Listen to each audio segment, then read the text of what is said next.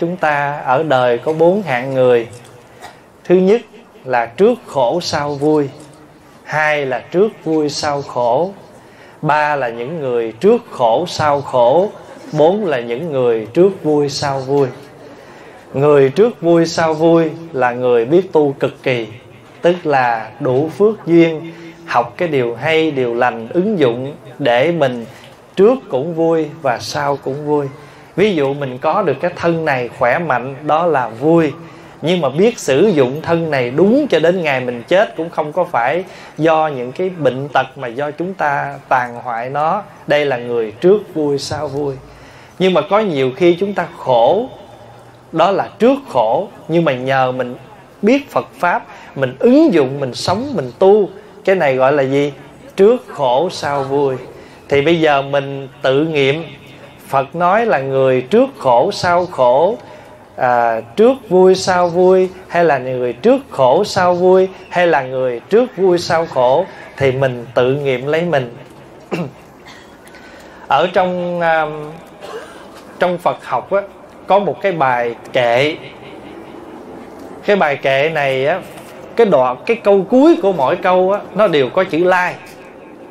Chữ lai là đến chữ khứ là đi. Thì các vị người ngày xưa mới viết một cái bài kệ ngắn gọn, gồm có 10 câu, nói lên cái lý nhân quả. Để cho tất cả chúng ta đọc cái bài kệ này cũng có một phần mở khai cho mình. Cái bài kệ này có tên là thập lai kệ. Thập lai có nghĩa là 10 cái Bộ, xin lỗi bài kệ nói về 10 cái mà nó đến với mình. Ví dụ như đoan chánh giả nhẫn nhục trung lai. Tức là người mà sống mà có được cái hình tướng đẹp có được cái thân tướng đẹp gọi là đoan chánh đó là người đó do nhẫn nhục mà được. Thí dụ như mình không nhẫn nhục thì tướng mình nó ra làm sao? Mắt mình nó trừng lên à, rồi ngăn răng mình nó nghiến lại. Rồi tay mình thì cung còn nếu không cung thì mình xài nhất dương chỉ. Cho nên rồi thì cái người đó thân tướng không có đoan chánh. Người ta cái người mà có được cái phước đoan chánh đó, là không phải tự nhiên mà người đó có tu một cái hạnh gọi là nhẫn nhục. Cho nên người xưa gọi là đoan chánh giả chữ giả này là người. Người đoan chánh từ đâu mà ra? Từ nhẫn nhục mà được, từ nhẫn nhục mà đến. Thì câu thứ nhất của bài kệ này là đoan chánh giả nhẫn nhục trung lai. Rồi bây giờ mình bắt đầu mình kiểm điểm coi mình được mấy câu. Câu thứ hai, bần cùng giả khang kham trung lai. Bần cùng là gì? Là nghèo khổ. Nghèo khổ do đâu mà ra? Do mình bỏn sẻn bỏn sản có năm loại. Bỏn sản chỗ ở bỏn sản thức ăn bỏn sản học thức bỏn sản giáo pháp bỏn sản những cái vật chất trong đời sống hàng ngày. Tại sao có nhiều người người ta nghèo? Khi mà người ta giàu lên á, cái người ta biết thương người nghèo. Nhưng mà cũng ngược lại, có nhiều người nghèo xong tới hồi giàu cái nó thôi hồi đó tôi bị hai chục năm nghèo, bây giờ tôi giàu, tôi phải ăn chơi cho nó trả thù những ngày tháng nghèo. Cho nên rồi người này bắt đầu sống làm sao? Sống mà không biết thương lân mẫn ai hết, tích lũy cho mình. Chữ sang tham là keo kiệt. Keo kiệt cái gì? Keo kiệt chỗ ở nè, có nhiều khi á, mình có chỗ ở mà không cho người ta ở. Đi xe, chỗ trống, mà người ta hỏi chị còn chỗ không? Dạ hết rồi. mà mình cũng tuyến đường, mà đi làm chi trường chỗ trống. Cho nên mình sống có nhiều cái cái phước của mình nó đơn giản lắm. Chỉ cần mình đi cùng con đường đó, mà mình trống chỗ ngồi, mình cho người ta ngồi để người ta được đến nhà người ta, mình cũng có cái phước. Pháp Hòa thưa với đại chúng có một câu chuyện có thật nè. Có cái bà cụ đó, Bà đi thăm ông chồng Ở dưỡng lão. Thì cái người nọ Có xe, Nhưng mà tại bực bả làm sao, bữa đó không chở. Bà điên mình. Điên mình do mắt mờ băng qua lộ, Không thấy cái bà chết, bị xe tông. Thì khi mình nghe được cái tin đó thì mình sẽ hối hận vô cùng. Mà thiệt sự không dám nói với ai. Nếu mình kể ra làm tao nói mình ác. Cho nên rốt cuộc rồi, ôm cái niềm đau nỗi khổ đó mà cứ đi ngang con đường đó là cái hình bóng bà cụ đó cứ vờn vỡn ở trước mặt mình. Thấy không? Cho nên hận một chút, giận một chút, lỗ lã. Mình lỗ cả cuộc đời khổ đau của mình. Cho nên á, mình sang tham là mình keo kiết.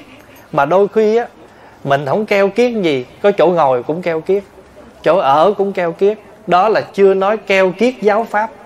Cái gì hay mình phải chia sẻ phải không? Thành thử ra người ta thường dạy mình bần cùng giả, khang kham trung lai. Đời này mình nghèo là do mình bỏng sẻn mà ra.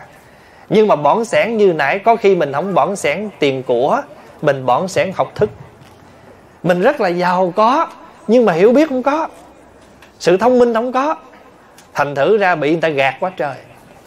Đó, là vì mình không có đủ cái trí tuệ để nhận thức. Cho nên thí dụ như đời này mình lỡ mình nghèo đừng có ganh với người ta. Đừng có đố kỵ với người ta mà phải tùy hỷ với người ta.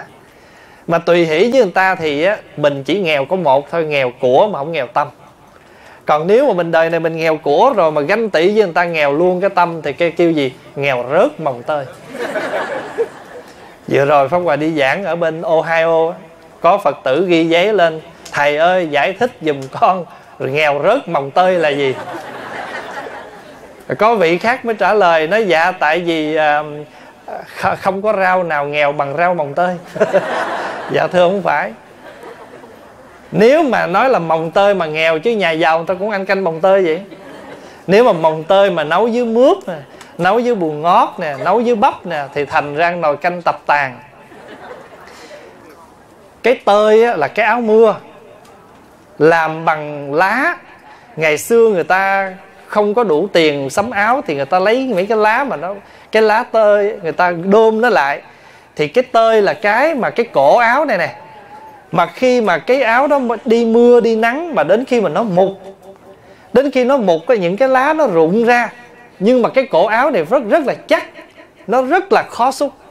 Vậy mà cái người nghèo á, rớt hết mà giữ lận cái cổ áo này.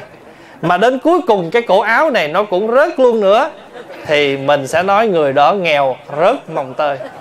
Nghèo rớt cái tơi cái tơi là cái cổ áo mà người ta đang bằng bằng cái cái cái cái lá, chứ không phải là cái cây mồng tơi, hay là cây bù ngót, hay là cây rau dền. Bần cùng giả, khang kham trung lai. Cao vị giả, lễ bái trung lai. Bây giờ đời này mình ở được cái địa vị cao sang trong xã hội thậm chí mình không phải là, không phải là cao, nhưng mà ít nhất mình cũng sang. Cao sang nghĩa là mình ở cái địa vị tốt. Mình nhìn người mình sang trọng là gì? Mình có được tu tập cái lễ bái. Lễ bái là kính trọng. Mà đời này mình thấp lùng là tại sao? Vì mình khinh thường người khác. Mình coi người ta thấp. Cho nên cái quả này, đời này mình cũng bị thấp. Cho nên là cao vị giả lễ bái trung lai.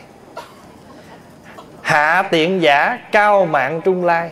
Mình sanh vào cái cái cái cái cái cái cái, cái level gọi là hạ tiện tức là người mà sống bằng cùng giai giai gì đó kêu là giai cấp thấp trong xã hội là tại vì mình có cái tâm gọi là phỉ bán cho nên mình không có nên cao ngạo.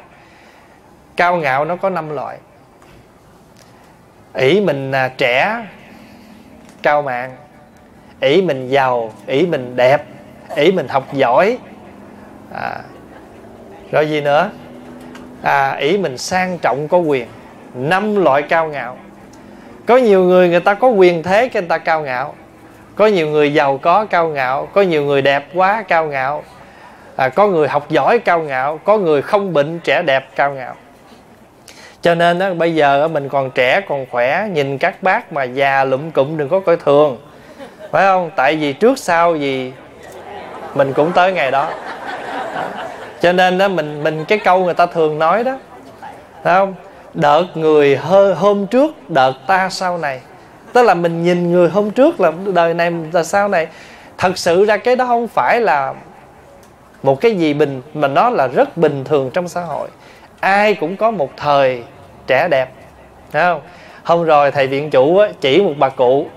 Nói con con bác này nè trời ơi một tay tài xế cự phách. Là bác cũng bảy mấy tuổi rồi. Cái pháp hòa đùa pháp nói dạ hồi còn trẻ tài bây giờ xế. Hai chữ tài xế mà bây giờ tài thì giảm rồi mà xế thì tới tới tiến tới tiến tới. Vậy thì cao vị giả lễ bái trung lai hạ tiện giả cao mạng trung lai, ấm á giả phỉ bán trung lai. Chữ ấm á là gì? Câm ngọng. Câm ngọng là do cái gì? Do mình phỉ bán người khác. Cho nên đời này á, người đời thường còn không dám phỉ bán, chứ còn làm sao chúng ta dám phỉ bán những bậc tu hành? Người ta có tu không? Mình không biết. Tại vì có những bậc ta tu, người ta đâu có quảng cáo. Phải không? Thành thử ra tốt nhất là chúng ta đừng khinh ai hết. Ai mình cũng kính trọng đi, tại vì cái đó là cái phước của mình. Còn người kia họ có tu hay không đó là chuyện của họ. Còn mình cứ làm cái việc của mình là thấy ai cũng, mình cũng tạo phước chấp tay cung kính. Mà nhờ chấp tay cung kính như vậy đó, cho nên đời này mình không có phỉ bán ai hết. Phỉ bán là gì? Mình mạ nhục người ta mình mình nói điều, những cái điều không tốt về người đó, mà thật sự mình không có có nhiều khi do ghét mà nói cũng có. Do mình ghét, mình dựng chuyện, mình phỉ bán cũng có. Cho nên không nên phỉ bán quý vị nào có dịp đọc kinh quý vị tìm một câu chuyện là không nên phỉ bán các bậc thánh. Là vì có một vị tỳ kheo vô trong chùa tu mà đi ganh với hai thầy xá lợi phất một kiền liên.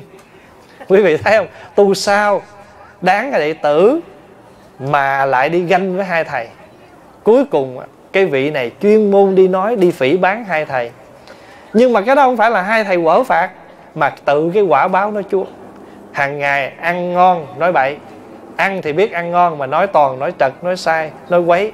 Cho nên rồi mắc cái quả là người đó sau này bệnh ghẻ ghẻ chóc rồi mọc ngay cái miệng.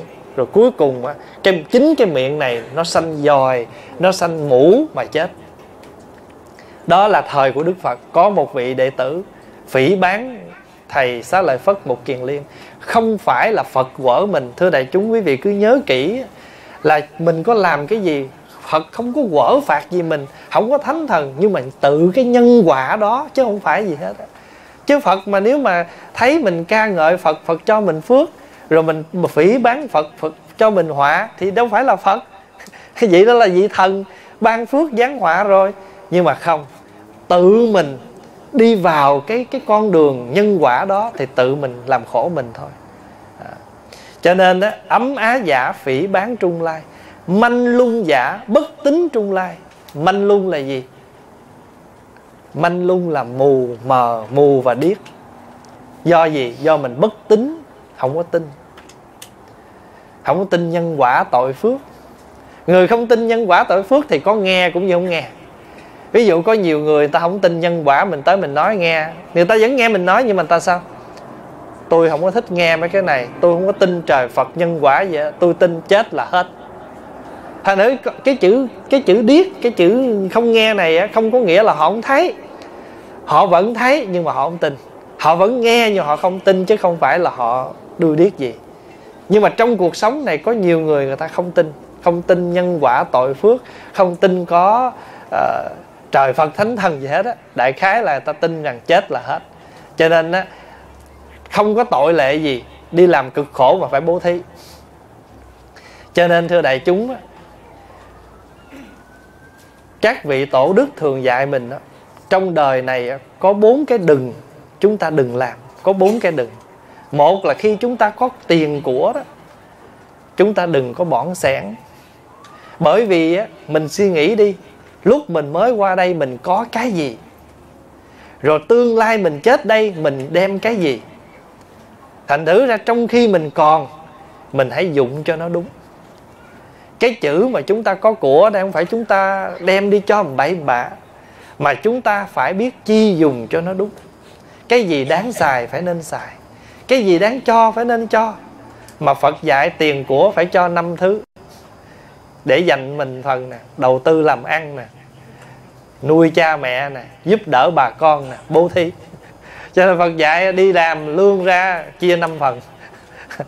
Cho nên có cái đừng là chúng ta đừng nên làm đó là gì? Có tiền của đừng keo kiết bón sáng ví dụ như hôm nay đây ông chủ bà chủ của cái công ty high quality machine này à, xin phone qua rồi hai năm nay là cứ òn ỉ nói thầy về đây cho tụi con chuyến rồi cuối cùng pháp hòa sắp xếp được là cái kỳ này là pháp hòa đi ba tuần lễ đúng.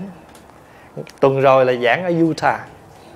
Ba ngày kế đây là ở Bắc Cali 16, 17, 18, 19 là ở Texas.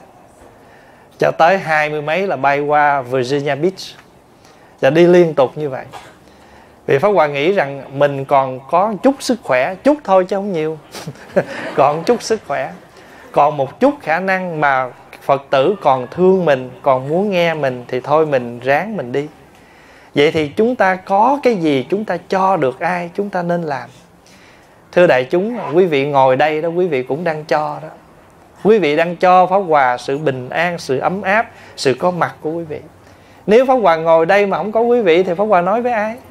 Cho nên quý vị là những người bồ tát trợ duyên cho cái buổi nói chuyện này.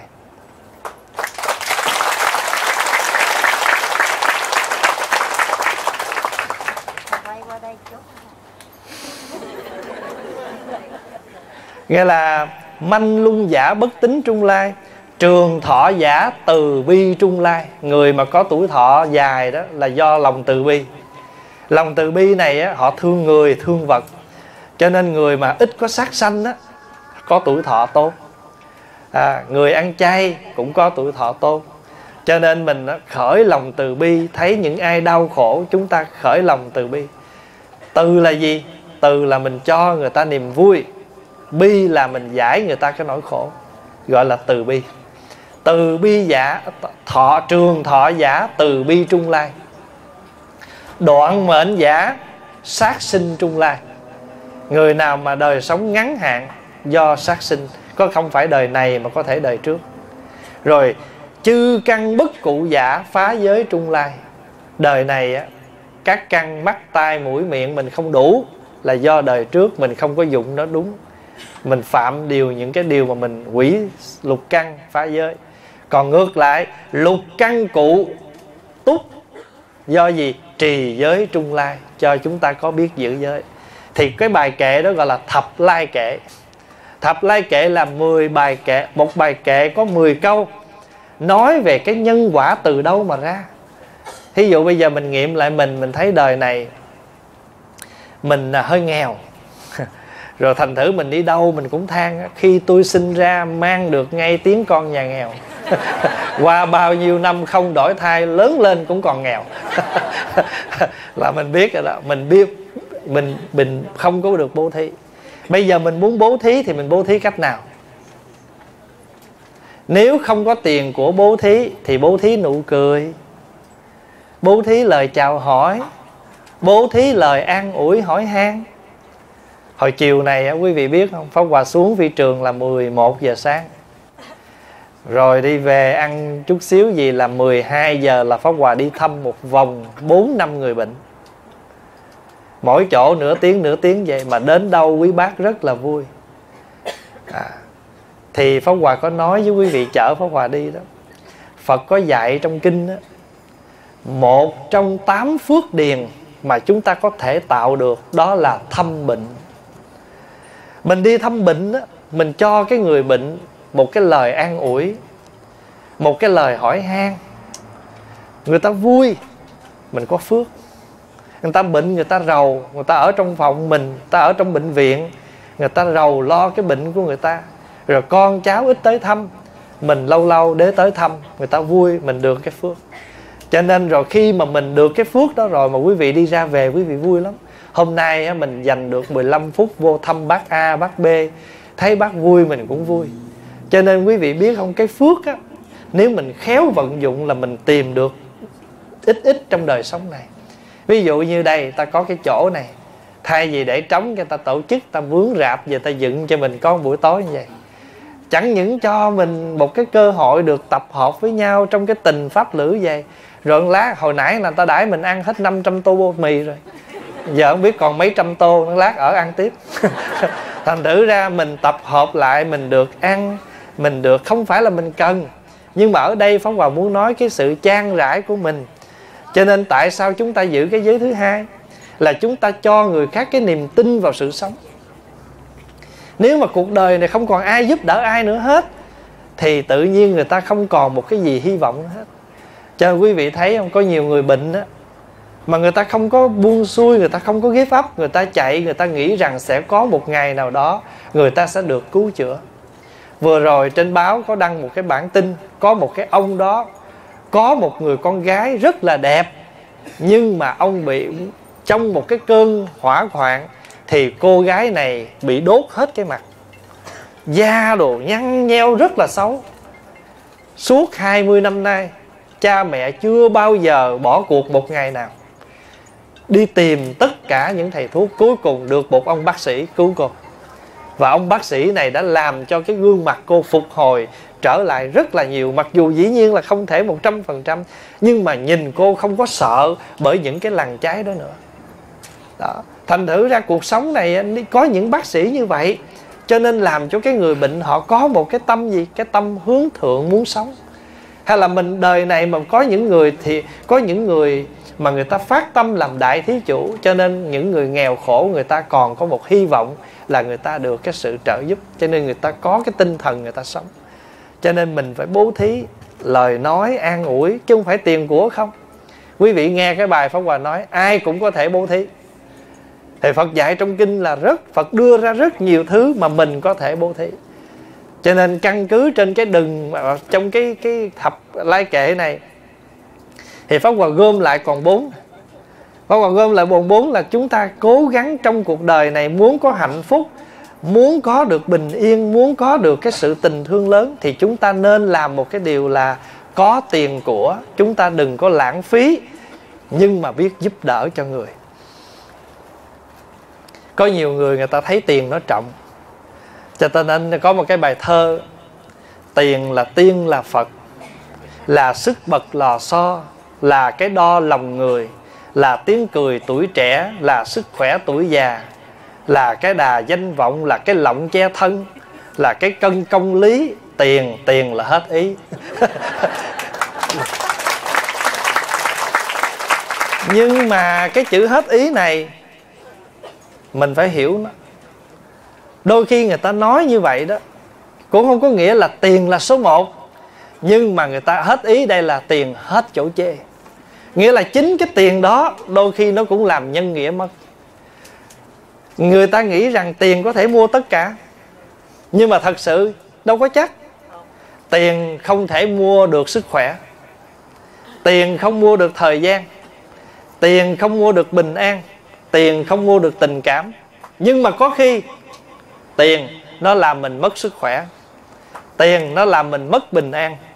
Tiền nó làm mình mất danh vọng, mất cái đạo nghĩa nhiều khi tiền nó làm mình mất thời gian rất là nhiều và tiền nó làm mình mất nhiều hơn có, nếu mình không sử dụng đúng. Cho nên bản chất tiền không có tội, nhưng mà do chúng ta chưa đủ cái tuệ giác để chúng ta xài tiền, cho nên từ đó tiền bắt đầu sanh lỗi. Cho nên người ta thường nói đó, khi mê, tiền vẫn là tiền, ngộ rồi mới biết trong tiền có tâm. Khi mê bùn vẫn là bùn, ngộ rồi mới biết trong bùn có sen. Khi mê thì bùn vẫn là bùn, hay là khi mê thì tiền vẫn là tiền, ngộ rồi mới biết trong tiền có tâm. Phải không? Tại vì nếu chúng ta có cái tâm thì cái tiền này nó đúng nghĩa. Ví dụ như á, mình làm có của sau một cái cái cháy rừng này nè, thế nào mình cũng phải ủng hộ đóng góp. Đóng góp để mình biết 500 đồng của mình không bao nhiêu nhưng mà đó là cái ý niệm của mình, cái tình thương của mình gửi vào đó. Và quý vị cứ nghĩ nếu mà một ngàn, một triệu người, một tỷ người 500 hay là 200 100 thì nó sẽ có một số tiền để nó trợ giúp cho cái công việc nào đó. Phải không?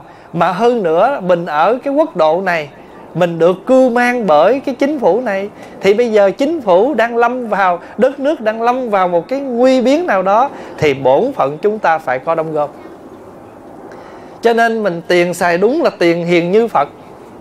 Bạc xài lầm là bạc ác hơn ma.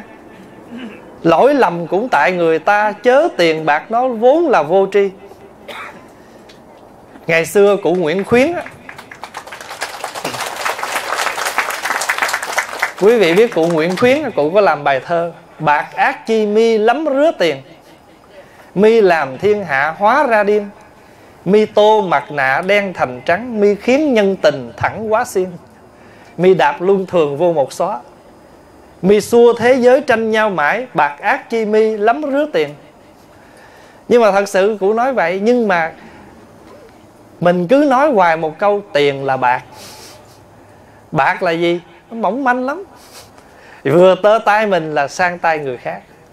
Rồi mình mới vừa bán cái nhà 400 ngàn, lời cũng được 50 ở trong đó lãnh lãnh một cái chén cái trong nhà băng mình 400 ngàn ngọn hơ vậy cái thì sáng hôm sau chuyển qua trả hết cái mortgage kia, hết tiền bạc.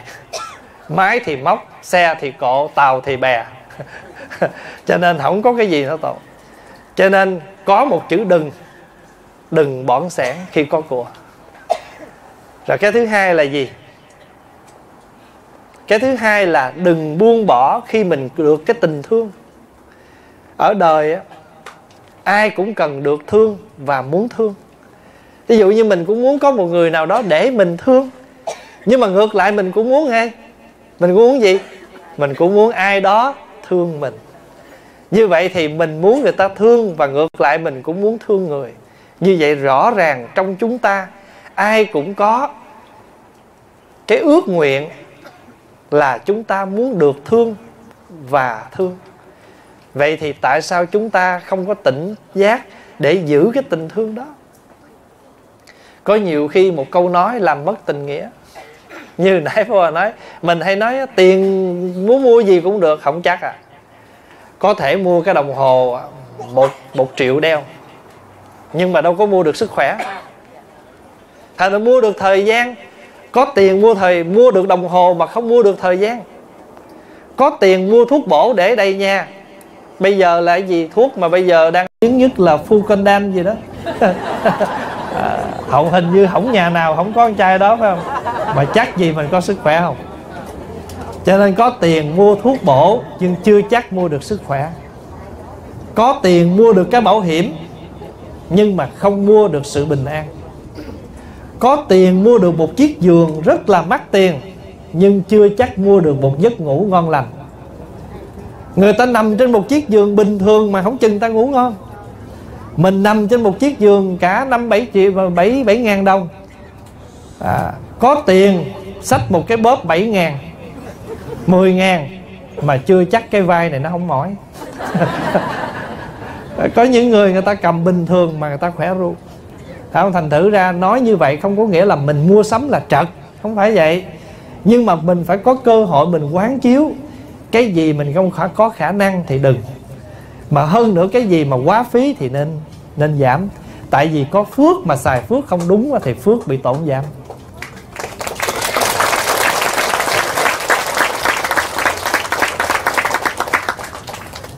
Mình có con mắt. Xin lỗi, mình có cặp mắt. Tại phá Hòa hay hát cái bài còn hai con mắt khóc người một con á. Mình có cặp mắt để mình thấy thì mình hãy sử dụng cặp mắt cho đúng để mình tạo lấy cặp mắt này tạo phước. Cho nên á, thần thông có từ đâu? Thần thông có từ nhục nhãn. Nếu dùng cái nhục nhãn là con cặp mắt nhà bằng thịt xương này mà chúng ta sử dụng đúng thì con mắt này có thần thông. Nhìn người bằng hiểu biết bằng thương yêu bằng thông cảm bằng đủ thứ những cái tốt đẹp còn nếu mà không biết sử dụng thì cặp mắt này nhìn gì? Nghi ngờ, đố kỵ, trách móc đủ thứ. Chưa biết người ta làm sao hết á. Mà thấy cái dáng là nghi rồi. Mà còn khoe nữa. Tôi coi vậy chứ hay lắm mà. Phật cho tôi cặp mắt. Nhìn người cái tôi biết liền. Trời ơi, mô Phật. Nó lãng giảng là tôi biết rồi. Đã vậy mà còn nói trời, Phật cho tôi cặp mắt nữa chứ phải không? À cho nên nhiều khi mình đổ oan cho Phật mà Phật cũng ngồi yên bất động. Rồi nhiều khi ờ, mình tới mình trách ờ, mình mình rồi cái người kia. Nhiều khi mình tới mình cũng nói vậy là phật ở trong phòng phật nghe. Phật nói, am not sure. Cho nên các ngài cứ bắt tay bắt ấn mà chịu trận thôi. Vậy thì chúng ta có phước á bây giờ quý vị kiểm phước là mình thấy nè, nội cái thân mình thôi là cả một chỗ tạo phước. Mắt nè, tai nè, mũi nè, miệng nè, thân nè, nhận thức nè. Nếu mình biết dùng sáu căn đó, biết rằng sáu căn này là huyễn, nhưng mà lấy cái huyễn để độ, để tạo phước thì huyễn này không huyễn chút nào. Huyễn mà không huyễn, mà lỡ ngày nào nó có huyễn thì chúng ta vui lòng vì chúng ta đã sử dụng huyễn đúng cách ở đây mua cái đồng hồ đeo họ nói 2 năm guarantee. Đúng 2 năm sau nó hư thà là bỏ chứ không sửa tại vì sửa mắc hơn mua mới. Cho nên trong khi mình có cái đồng hồ là mình sử dụng nó đúng. Cho nên á, mình có cái thân này là có phước hãy sử dụng cái thân này cho đúng mà đừng có lãng phí nó. Có cái miệng để nói có cái miệng để ăn. Mà thường thường đại chúng mình thấy có có cái hay là tôi kêu ăn nói ăn thì lựa ngon mà nói không lựa lời. Trật. Trật. Ông bà mình nói, ăn nói. Không, ăn ngon thì nói giỏi, nói tốt. Cho nên ăn thì mình lựa món nào mình thích thì nói phải lựa lời. Mà mình ăn vô mà không cẩn thì bệnh, nói ra mà không cẩn thận là họa. Cho nên bệnh và họa nó liền bên. Cũng cái miệng. Rồi bây giờ mình nghe cái tai, có hai lỗ tai và trong kinh nói là, con xin tập như bồ tát kia, nghe đời bằng đôi tay xót thương, bằng tấm lòng lân mẫn. Nhiều khi người ta nói, kể cho mình nghe, mình xì một cái xong mình, ở đó bà nghe nó. Cho mình gieo rắc cho người ta. Nhưng mà thật sự nói như vậy không có nghĩa là chúng ta không được quyền có cái lời bình phẩm gì. Nhưng mà chúng ta hãy sử dụng cái đôi tay này một cách trịnh trọng để chúng ta cẩn thận, không khéo thì chúng ta tạo tội nhiều hơn tạo phước. Rồi nhiều khi trong tình thương, trong cuộc sống, chúng ta có rất nhiều tình thương mà chúng ta không biết giữ, chúng ta để nó mất. Cho nên có tình yêu, đừng buông bỏ. Đừng có buông bỏ, tại vì sao? Cái chữ tình yêu này không có nghĩa là tình yêu giữa nam nữ, mà tình yêu cho tất cả. Thí dụ như giữa cha mẹ, giữa anh em, bạn bè quý vị cứ nghĩ đi. Mình mất một người bạn, có phải mình giảm hơn là mình mình thêm một kẻ thù? Cho nên đời này có được một người bạn là cái phước. Thỉnh thoảng pháo Hòa đi pháo Hòa có gặp những người bạn, họ rất là thân với nhau. Mà những cái tình bạn đó được trân trọng, được quý lắm. Bởi vì sống ở đời mà chúng ta có được một người bạn để chúng ta chia sẻ để chúng ta à, tâm sự đó là một cái hạnh phúc của mình. Cho nên á, có tình thương đừng để mất và phải làm sao chúng ta phát triển. Nhưng mà nếu như trường hợp mình sống mà mình nói hình như trái tim tôi lạnh quá, tôi không biết cảm với ai, tôi không biết thương với ai hết, thì phải cẩn thận. Mình phải làm sao cho trái tim của mình nó biết rung cảm. Thưa đại chúng, có một thầy tu chạy lên gặp sư phụ. Sư phụ con ghét cái sư huynh nọ, con ghét sư huynh kia. Ông thầy ông nói, thôi, vậy thầy cũng mừng. Cái thầy thầy này thấy ngạc nhiên, con ghét người ta mà sao sư phụ mừng? Nghĩa là trái tim con chưa lạnh ngắt. Con còn biết ghét, nghĩa là con có cơ hội để thương. Chỉ sợ một lúc nào đó con lạnh cả tất cả mọi hiện tượng cuộc đời này thì chừng đó sư phụ mới lo. Phải không?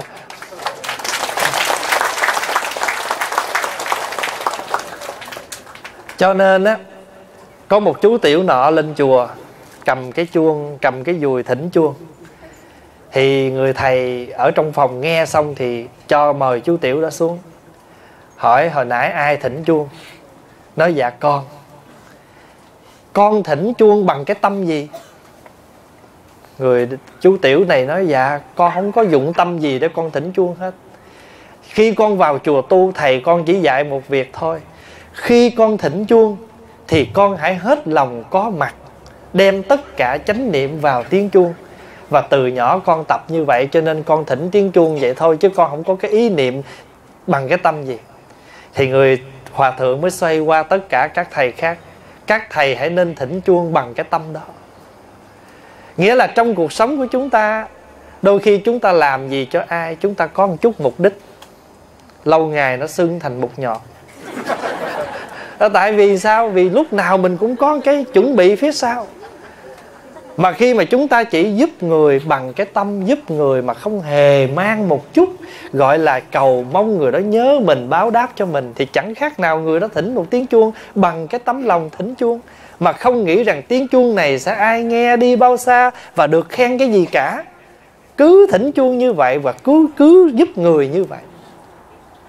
Rồi quý vị sẽ thấy cuộc đời này á mình bình lặng vô cùng. Có hận thù hận thù đừng có nhớ. Ghi nhớ khổ. Thưa đại chúng mà khi mà cái chuyện xảy ra ở nước mỹ á, khủng bố ở las vegas lục lội ở texas cháy rừng ở cali thì có một hôm pháp hòa đang lễ phật thì tự nhiên cái trong đầu pháp hòa nó nhớ một cái chuyện là, ô, trong kinh phật dạy tam đồ, đao đồ, thủy đồ, hỏa đồ, trong hai tháng nay nó có mặt đủ trong cái thế giới này. Đao đồ là đâm chém, bắn giết, thủy đồ là lục lội, hỏa đồ là lửa cháy. Thì một hôm Pháp Hòa đang lại Phật, cái tự nhiên trong đầu và nó nảy cái ý đó, cái cái tự nhiên Hòa đứng và khóc ròng vì mình thấy cái chuyện gọi là tam đồ Phật nói là đao đồ, thủy đồ, hỏa đồ Nó đang có mặt ở trong cái thế giới này rồi. Mà tam đồ từ đâu ra? Từ hận thù Từ ghét bỏ với nhau mà ra. Cho nên á Đạo Phật là đạo từ bi. Từ bi là gì? Nghĩa là chúng ta luôn luôn mở lòng thương xót cho tất cả mọi người. Thậm chí cái người làm khổ mình Tại vì cái người làm khổ mình Chính họ là người khổ nhất chính họ là người khổ nhất bởi vì thì pháp hòa ví dụ vậy nè. Pháp hòa cầm một cái ờ, cái cục sình pháp hòa luyện ai đó. Thì khi trong cái thời gian mà luyện ra thì nó có một cái thời, khoảng thời gian nào thì cục sình nó mới văng tới cái người đó. Nhưng mà thực thể ai là người dính sình trước? Chính bản thân mình. Cho nên đó, cái người mà người ta chửi mình đó cái người mà người ta làm khổ mình, họ là người khổ nhất bởi vì chính cái khổ đó nằm trong lòng họ suốt bao nhiêu ngày nay. Đến bây giờ họ gặp mình, bắt đầu họ mới kiếm cách họ dục cho mình. Mình chỉ là người chụp. Nhưng mà họ chính là cái người nhận cái đó trước. Cho nên với cái cặp mắt từ bi, với cái cặp mắt quán chiếu, thì những người đó mình thương xót họ bởi vì họ sống trong khổ đau, trong hận thù mà họ không biết. Người ta thường hay nói á phải trả thù để rửa hận. Trả thù rửa hận là sao? Mới đầu á, họ ghét người đó, họ hận người đó. Sau đó họ, từ cái hận đó, nó đi tới cái thù. Họ phải tìm mọi cách, họ làm hại cái người kia, thì họ nghĩ rằng làm như vậy mới rửa được cái hận của họ. Nhưng mà khi họ giết người rồi thì bản thân họ làm sao? Một là họ phải tự vận ngay tại chỗ họ chết để khỏi tù tội khỏi bị xử xét. Hai là họ phải bị xử xét. Rốt cuộc rồi, rồi họ cũng phải ngồi ở trong một cái khổ đau. Trong khi họ ngồi khổ đau họ nhớ tới người kia tại mày mà tao phải ra nông nổi này hận thù nó lên nữa. Cho nên đại chúng có nhớ cái bài kệ cái bài thơ mà đập mũi phó hòa hay đọc cho quý vị nghe không? Con mũi nó đậu trên mặt mình là mình tức quá mình lấy cái tay mình đập cái bóp. Cái mình nói với nó vì tao tao phải đập mày. Vì tao tao phải đập mày. Mày cắn tao đau quá thì tao phải đập mày. Vì tao tao phải đập mày. Nhưng mà cuối cùng tao hiểu ra một điều là vì mày mà tao phải đánh mày, đánh tao.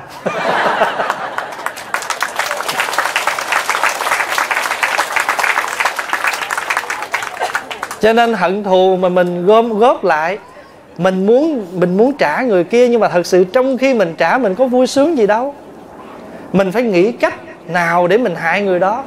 Mình phải nghĩ cách nào để mình làm khổ người đó? Trong khi mà kế hoạch chưa thành, thì người mình đã gom một số khổ đau, số hận thù. Trong khi ước nguyện chưa thành, thì cái điều đó nó ở trong người mình.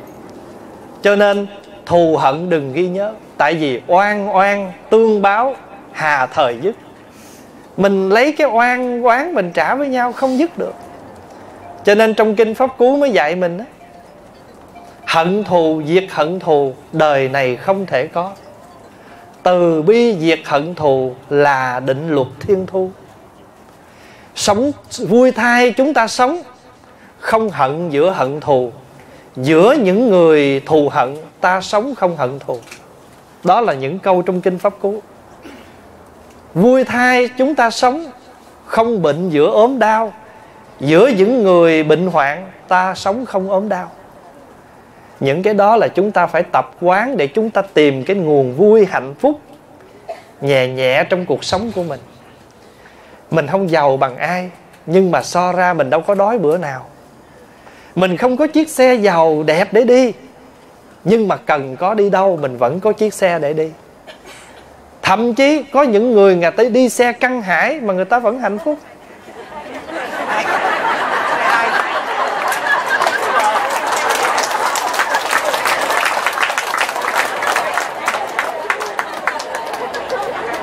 Đi xe nào đi.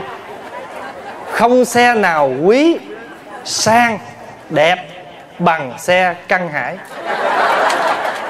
Xe căn hải là hai cẳng. Bây giờ pháp hòa, ví dụ, mình có một chiếc xe thật là sang đậu ở ngoài bãi đậu. Nhưng mà trước khi ra dùng chiếc xe đó, phải lái chiếc xe căn hải lái xe căng hải để gặp chiếc xe hơi. Mà nếu như mà chiếc xe căng hải này mà nó không còn tồn tại thì xe gì cũng không được đi. Cuối cùng chỉ còn một chiếc xe thôi, là xăng le.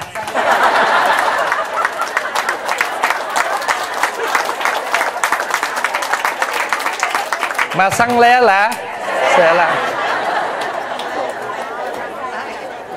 mình đổ xăng nào không cần biết.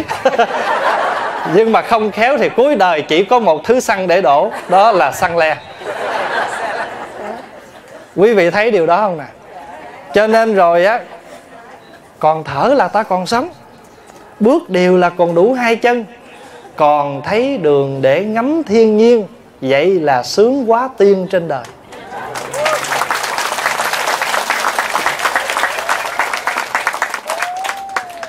Thở đều theo bước thánh thời. Ta mím miệng nở luôn nụ cười.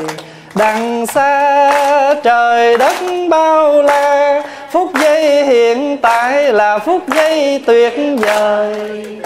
Tuyệt vời là vẻ đẹp của đất trời tuyệt vời là ta ở tại đây. Có thầy, có bạn, có luôn nụ cười. Còn thở là ta còn sống. Bước đều là còn đủ hai chân. Còn thấy đường để ngắm thiên nhiên.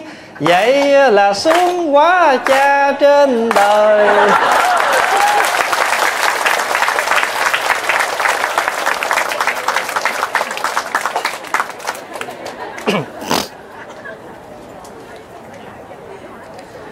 Giận đừng có để lòng. Sao gọi là tức sao gọi là giận? Tức á, là khi mình không ưng cái gì nó tức. Từ cái tức nó xây cái giận. Pháp Hòa ví dụ vậy nè. Bữa nay tôi nghe thầy tới Tôi nấu nước cho thầy uống. À, Tôi mang lên tôi để đó rồi Mà tôi sợ tôi để trước mặt thầy rồi. Vậy mà cái ông, cái bà nào tới dời ly nước của tôi Tôi tìm hoài có tôi tức ghê. Tức đó là mình disagree. Mình không bằng lòng với cái gì gọi là tức. Người ta ăn à, phở, Người ta không có để ngồi gai. Mình ngồi kế bên mình ăn gì thấy phát tức. Người ta ăn mà mình tức. Mình anh hùng vậy đó.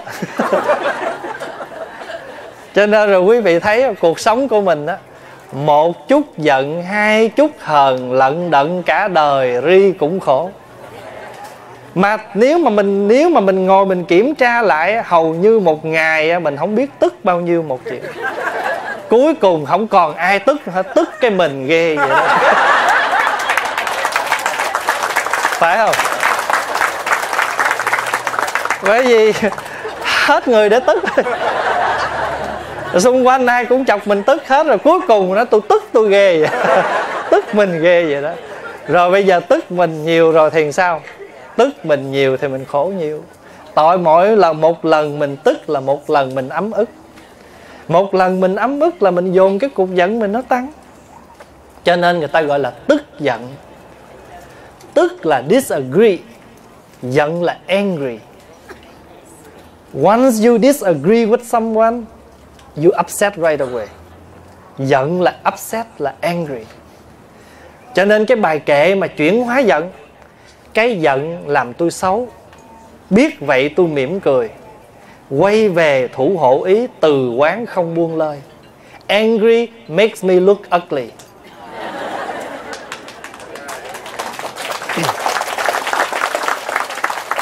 Vậy thì có Phật tử hỏi thầy ơi, Có câu thần chú nào tụng để cho con hết giận không?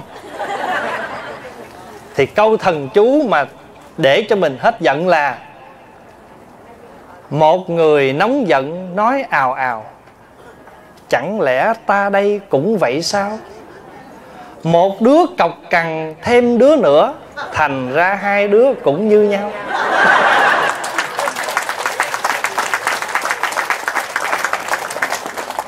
Ở đây ai coi phim tây du ký rồi? Quý vị nhớ có một câu chuyện một hôm nọ, tôn ngộ không lẻn vào hoàng cung, cạo sạch đầu ông vua, cạo sạch đầu bà hoàng hậu. Sáng ngủ dậy, hai vợ chồng ngồi dậy. Bà nhìn ổng trọc lóc, bà cười.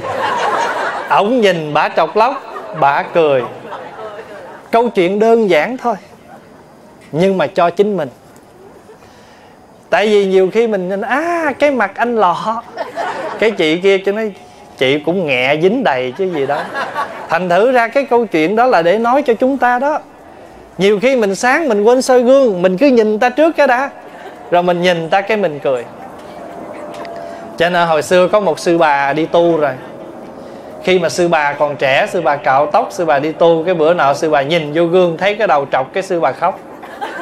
Khóc xong cái ngộ đạo, sư bà làm bài thơ liền.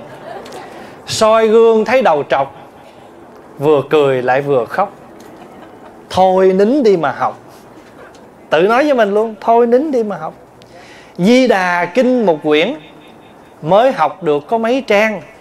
Biển học rộng mênh mang, cố công thì cũng đến.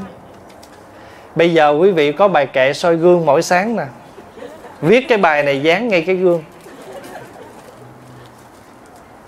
Chánh niệm là đài gương gương soi hình tứ đại, đẹp nhất là tình thương và cái nhìn rộng rãi.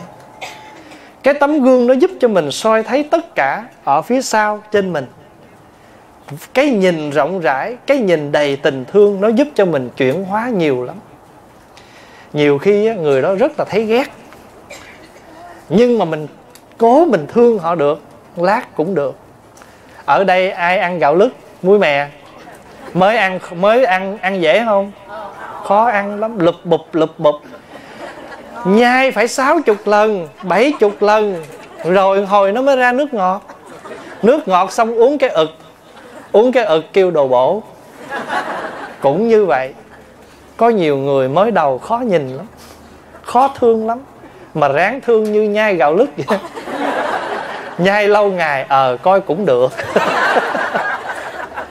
có nhiều khi á mình dẫn bạn gái về ba má chê mày bồ mày sao xấu quá vậy?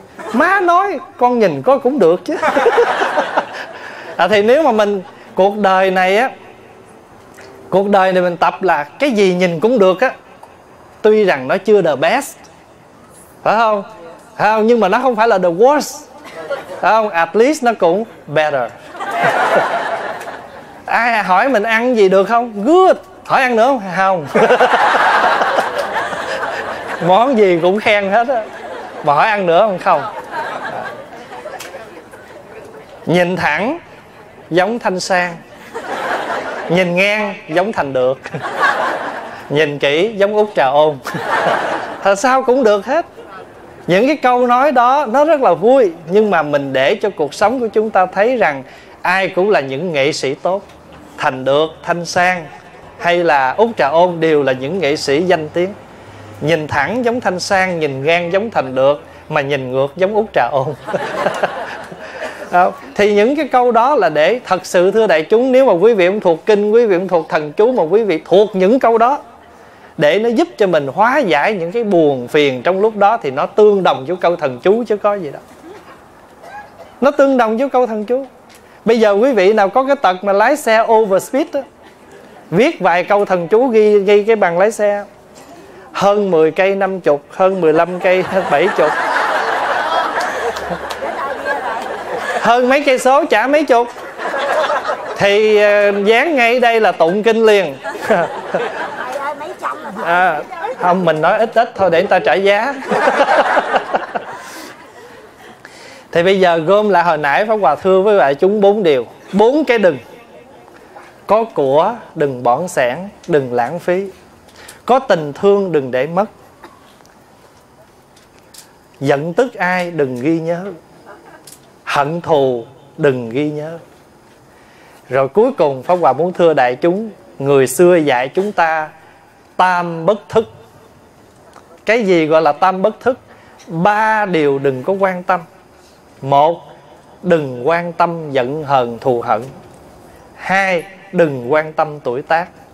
Ba, đừng quan tâm bệnh tật. Nói như vậy không có nghĩa là mình bỏ phế. Nhưng mà chúng ta biết rằng có thân thì phải già, có thân là phải bệnh. Nhưng mà chúng ta sợ già, nó càng mau già, tại vì cái sợ nó làm mình già. Chúng ta sợ bệnh, nó làm mình càng bệnh. Bệnh chấp nhận rồi uống thuốc đi bác sĩ thảnh thơi tâm hồn, cái bệnh nó ít phát triển và chúng ta còn dây dưa được. Sợ quá, bệnh nó càng tăng. Vừa rồi pháp hòa có gặp một hai vị này. Thì hai vị này lên nói với pháp hòa là ba con không sợ chết, mà ba con bệnh lâu lắm mới chết. Còn má con rất sợ chết mới bệnh chết queo. Thì pháp hòa mới giải thích cái tâm lý con người nó quan trọng lắm. Cho nên thưa đại chúng trong cái bệnh á, nó có thân bệnh nó có tâm bệnh nó có nghiệp bệnh. Và cái bệnh tâm á, nó còn quan trọng hơn bệnh thân nữa. Tại vì cái bệnh tâm là bệnh tâm lý mà cái bệnh tâm này nó dày dò nó đau khổ. Bởi vì nó không có hình tướng. Chính nó không có hình tướng cho nên nó không có thuốc. Còn cái bệnh mà ví dụ như bệnh à, phổi bệnh gan gì người ta có thuốc ta trị mà tâm lý bệnh thì mất rất nhiều thời gian cái sợ hãi nó làm con người mình rất là sợ và cái bệnh nó tam, nó tăng trưởng. Cho nên người xưa dạy chúng ta tam bất thức là ba việc, đừng có quá bận tâm. Một là bận tâm, thưa đại chúng nếu mình muốn giận phải không? Không ngày nào không có người để mình giận. Nếu mình muốn tức, không ngày nào không có việc để mình tức. Thậm chí nấu cơm, vo gạo rồi, ghim điện rồi, quên bấm tới giờ ăn mở ra, cơm không có. Bắt đầu cái gì nó lên? Tức nó lên rồi. Đóng nồi cái răm. Ai nấu cơm? Là bắt đầu dây dưa dây dưa hai ba chuyện. Mà la rồi thì nồi cơm đâu chín đâu. Cho nên cái bí quyết sống mà hạnh phúc, an lạc là chúng ta tỉnh giác. Vì vậy chúng ta theo đạo phật. Phật là giác, là tỉnh đạo phật là con đường giúp cho mình tỉnh giác. Hễ mình sắp sửa lâm vào cái cảnh mê là tỉnh liền đừng để nó mê. À, thí dụ á pháp hòa ví dụ nè. Quý vị đang ngồi thiền hay niệm phật đang ngồi lần chuỗi như vậy nè cái thứ khác nó xen vô. Nó nói à, bữa nay bớt khói rồi. Đường đó chắc mở rồi đó. Shopping ở trên đó không chừng rẻ. Tại mấy ngày nay nó ế không chừng nó đại hạ giá. Bắt đầu tâm mình nó phăng phăng phăng phăng ra. Bây giờ cái mình nhớ trực lại. Thôi không được. Giờ này giờ niệm phật chứ không phải giờ niệm uh, outlet. Thì khi mà mình cái lúc mà nó sắp sửa đưa mình mê tỉnh trở lại mình đang làm gì thì mỗi ngày cứ tỉnh mê tỉnh mê. Đến khi nào mình thật tỉnh còn không thì mình hoàn toàn mê. Bởi vì nó lôi đâu mình đi đó. Nó lôi đâu mình đi đó cho nên thưa quý vị ha, ngày xưa mình chưa có biết phát tâm, học phật, nghe pháp gì hết. Mình mê hoàn toàn, phải không? Bây giờ biết nghe pháp, biết tu tập rồi, có phần tỉnh không? Có. Giảm sân nhiều lắm, giảm suy nhiều lắm, giảm hờn tức nhiều lắm. Mà giảm được cái đó, cái gì? Sức khỏe nó tăng, tinh thần nó thoải mái. Mà tinh thần thoải mái thì tự nhiên da dẻ mình sao? Căng thẳng, hồng hào. Đó là cái bí quyết cho nên thưa đại chúng giận tức nhiều không có tốt. À, buồn phiền nhiều không có hay. Thì thôi hôm nay à, pháp hòa về đây thăm quý vị. Trong cái buổi nói chuyện này pháp hòa muốn thưa với đại chúng qua cái bài kệ thập lai tức là 10 cái. Để chúng ta thấy rõ cái nhân quả đồng thời chúng ta phát tâm đừng đừng để làm gì để có hạnh phúc. Có nhiều cái chúng ta nên, nhưng mà ở đây căn bản chúng ta có bốn cái đừng.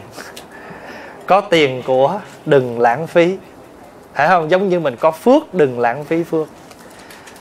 Có tình thương, đừng để mất. Tức giận, đừng để lòng. Hận thù, đừng ghi nhớ.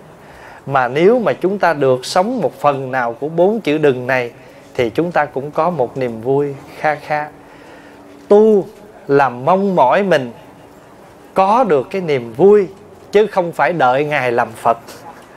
Quý vị nhớ vậy, tu không phải để làm phật, mà tu để thấy được mình. Thấy được mình, chuyển được mình làm mình có vui, và mình làm cho người xung quanh mình vui. Chỉ cần chúng ta giữ giới chúng ta tu là đầy đủ từ bi. Hôm rồi có một phật tử quy y được pháp danh là tuệ chuyển. Anh mới hỏi pháp hòa, chuyển nghĩa là gì? Pháp hòa mới nói, chuyển nghĩa là đổi thay. Xưa nay mình sống không biết đổi thay, mình làm khổ mình khổ người rất nhiều. Hôm nay mình biết đổi thay, tự mình làm vui mình và làm hạnh phúc cho người. Cho nên trong cuộc sống chỉ cần biết chuyển thôi, là rất nhiều thứ được thay đổi. Pháp hòa ví dụ quý vị ngồi đây, chen chút chật quá. Mỗi người chịu khó nhích một chút. Mỗi người chịu khó chuyển một chút, thì sao? Tự nhiên đủ chỗ. Phải không? Chụp hình, sợ mất mặt. Nhưng mà chịu khó sắp xếp lại. Người này đứng về, người này đứng về. Đứng hồi cái, ai cũng có mặt, cho nên không ai sợ bị mất mặt. Chúc đại chúng an vui.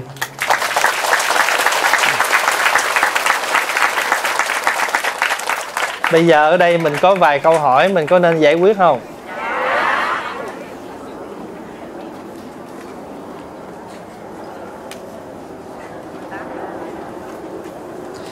Con xin thưa thầy, nhà con có nuôi một con chó, và con chó nó và con ờ, và con và nó đều ăn chay.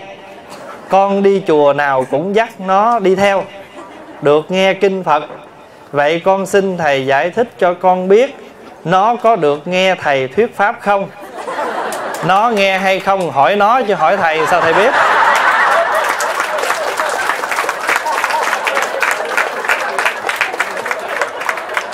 Tối nay họ, có dẫn nó theo đây không? Nếu mà có lát tối về hai mẹ con hữu hỉ hỏi nãy thầy nói con có nghe không? À, không cho nó vô. À vậy lát cô về cô nói lại nó nghe.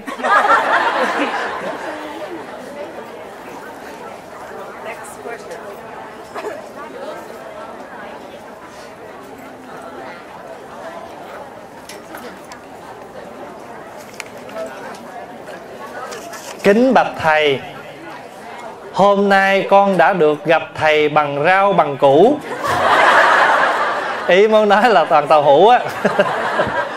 Con thật quá vui mừng. Vì tâm nguyện con đã được thực hiện. Con xin thầy hoan hỷ giải thích dùm thắc mắc của con. Phật dạy rằng nếu ai có lòng niệm thành tâm niệm 10 câu Phật hiệu A-di-đà thì sẽ được Phật rước. Nhưng con lại nghe giảng rằng nếu thành tâm niệm Phật đêm ngày mà không hành theo hạnh Phật Vẫn còn đầy tham sân si chấp trước thì chỉ uổng công thôi vậy là sao xin thầy chỉ dạy? Nếu con có nhiều thắc mắc thì con có bị phạm vào lỗi niệm phật mà còn nghi ngờ không? Có duyên được nghe pháp của thầy, con thấy mình tinh tấn rất nhiều. Con còn một thắc mắc là sao người ta không ờ, không ờ, cái micro có chân để bàn? Mà bấy lâu nay thầy cứ phải cầm tay micro quá. Mỏi tay, con không biết có huyền cơ gì không? Trời ơi. Cầm microphone mà cũng huyền cơ nữa. Nếu mà nói mà cầm microphone mà huyền cơ mà tại chúng đang ngồi im lặng, em đưa lên gã gãi không biết có huyền cơ gì không?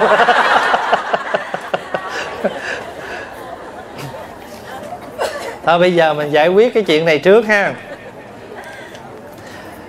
Thưa đại chúng là chúng ta thường hiểu lầm. Niệm phật á, là cái miệng mình lâm râm tên phật gọi là niệm phật. Nhưng mà thật sự niệm như vậy á nó chỉ là một phần nhỏ của câu niệm phật chứ nó chưa trọn cái nghĩa. Cái nghĩa của chữ niệm phật là tâm mình nghĩ nhớ phật miệng mình niệm phật đời sống hàng ngày của mình hành theo phật. Ba nghiệp mình dung thông, gọi là thân thì hành theo phật, miệng thì niệm danh phật, tâm tư tưởng nhớ phật, gọi là thân khẩu ý, miên mật phật, thì chúng ta mới được thật được kết quả tốt. Còn bây giờ pháp hòa ví dụ, mình uống thuốc, bệnh uống thuốc khi mình uống thuốc á, thì mình phải theo toa là một. Uống đúng giờ là hai. Và đồng thời phải uống đúng liều lượng. Bây giờ uống thuốc mà uống không đúng giờ mặc dù có theo toa bác sĩ nhưng mà uống đúng không đúng giờ uống quá liều thì cái thuốc này nó cũng không có tác dụng tốt. Cũng như vậy chúng ta chỉ làm một việc là miệng lâm râm niệm phật đời sống hàng ngày không có làm một cái gì giống như phật hướng dẫn, thì chúng ta chỉ được một phần thôi. Đó là được cái phần là giảm được cái lỗi nói năng lăng xăng. Chỉ được có cái tốt là lâm râm niệm phật. Nhưng mà cái ý chưa tịnh. Đi ngang niệm phật mà thấy con nó ăn tôm cua, nó sao con không đập cái chỗ này nè, thịt nhiều lắm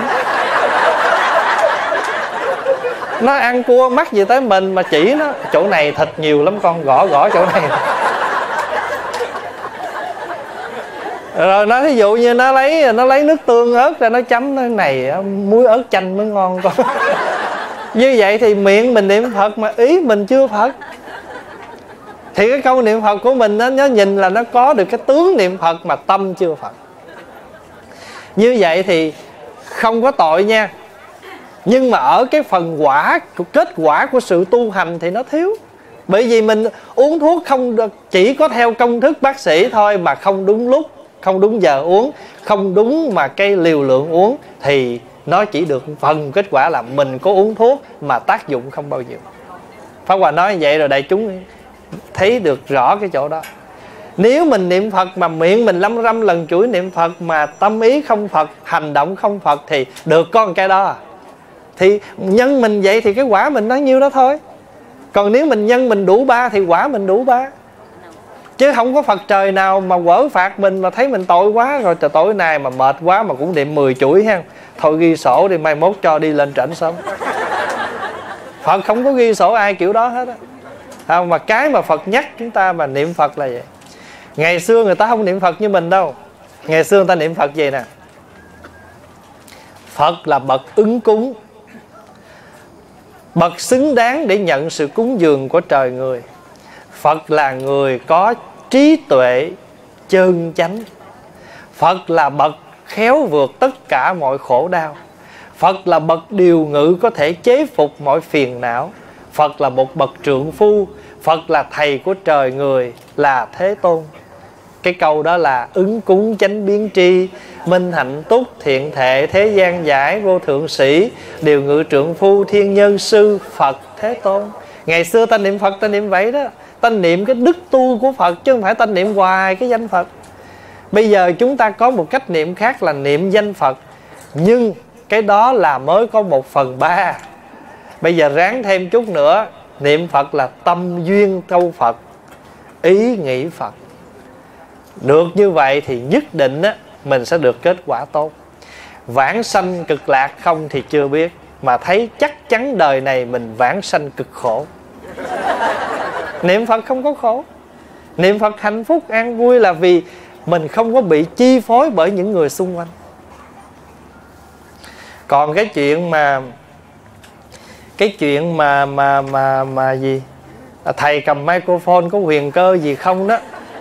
Là cái huyền cơ ở đây á, là tại vì á, pháp hòa phải cầm nói nó mới rõ. Còn để xa xa hơi nó yếu. Thưa thầy khi nào thì thắp một cây nhang? Và nghĩa gì? Còn hai cây và ba cây nhang là nghĩa gì vậy thầy? Khi nào mà nhà sắp hết nhang thắp cây?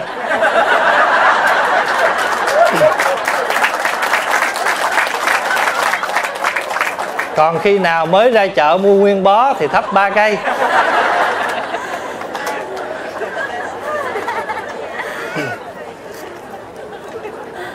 Cái câu này mới trả lời hồi tối hôm qua ở tại Utah. Bây giờ quý vị chịu khó mai mốt nghe cái bài đó hay giờ nghe luôn giờ. Hương là gì mà phải thắp? Đạo phật lấy cây hương bởi vì khi nói hương là phải nói tới mùi thơm. Mà mùi thơm ở đây là tượng trưng cho cái mùi thơm của cái người đức hạnh, chứ không phải là cái hương vật chất. Nhưng mà lấy cái hương vật chất để biểu tượng qua cái hương của cái người có đức, có hạnh. Ba cây là tượng trưng cho giới định tuệ. Bởi vì chúng ta làm bất cứ việc gì mà chúng ta thiếu giới định tuệ thì việc làm không thành công. Pháp Hòa ví dụ, Mình muốn mở cửa hàng làm ăn Mà không theo luật pháp là không có giới. Bởi vì giới nghĩa là luật Luật là luật pháp hiện hành. Không có giới thì luôn luôn mình sống làm ăn Nhưng mà hồi hộp lắm, Sợ không biết bị bắt lúc nào. Thiếu định. Và khi thiếu định, thiếu giới Thì sự sáng suốt của mình nó thiếu, Cho nên thiếu tuệ. Một việc gì chúng ta làm mà có giới Thì nhất định sẽ có định và sẽ có tuệ. Vì vậy cho nên chúng ta thắp ba cây nhang giới định tuệ. Nhưng mà một việc làm chúng ta, nó cũng có đủ hai cái kia bên trong đó. Ví dụ chúng ta làm ăn hợp pháp là giữ luật, giữ giới. Vì sao chúng ta làm ăn hợp pháp? Vì chúng ta có sự định tĩnh, nhận định, đừng làm cái điều đó và chúng ta có tuệ giác rằng muốn làm ăn lâu dài thì không nên làm ăn bất hợp pháp. Vậy thì trong một việc làm ăn hợp pháp nó có đủ giới định tuệ cho nên chỉ cần thắp một cây nhang cũng đủ. Nhưng mà ba cây hương đó là ba cây hương vật chất tượng trưng cho giới định tuệ. Cho nên nhà phật á, đề cao ba điều người nào muốn tu hay là muốn sống ở đời mà trọn vẹn thì phải đủ ba điều, giới, định tuệ. Một lư hương ba chân, gãy một chân thì lư hương đứng không vững. Một trong tất cả tất cả là một. Quý vị đều thấy được cái chỗ một trong tất cả không? Một con người này có đủ các vật chất trong này. Cà rốt, khoai môn, củ sắn, đậu nành, mì căng, dưa leo, dưa chuột, đủ thứ hết tất cả trong cái một. Phải không? Rồi mình một trong tất cả. Bây giờ chỉ cần nói thầy pháp hòa thầy pháp hòa là một. Một trong tất cả. Phải không? Một trong tất cả, rồi tất cả quy về cái một. Cho nên ba cây nhang cũng là một cây nhang.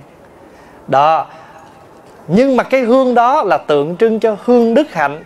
Vì vậy cho nên kinh pháp cú mới nói, hương của tất cả các loài hoa không hương nào bay được ngược gió. Chỉ có hương của người đức hạnh mới bay ngược gió muôn phương.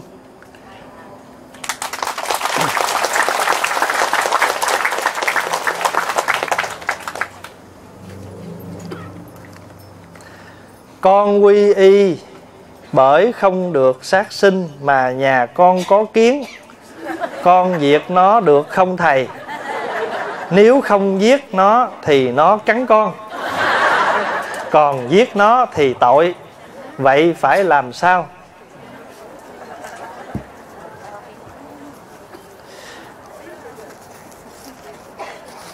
Ở nhà nào cũng có kiến.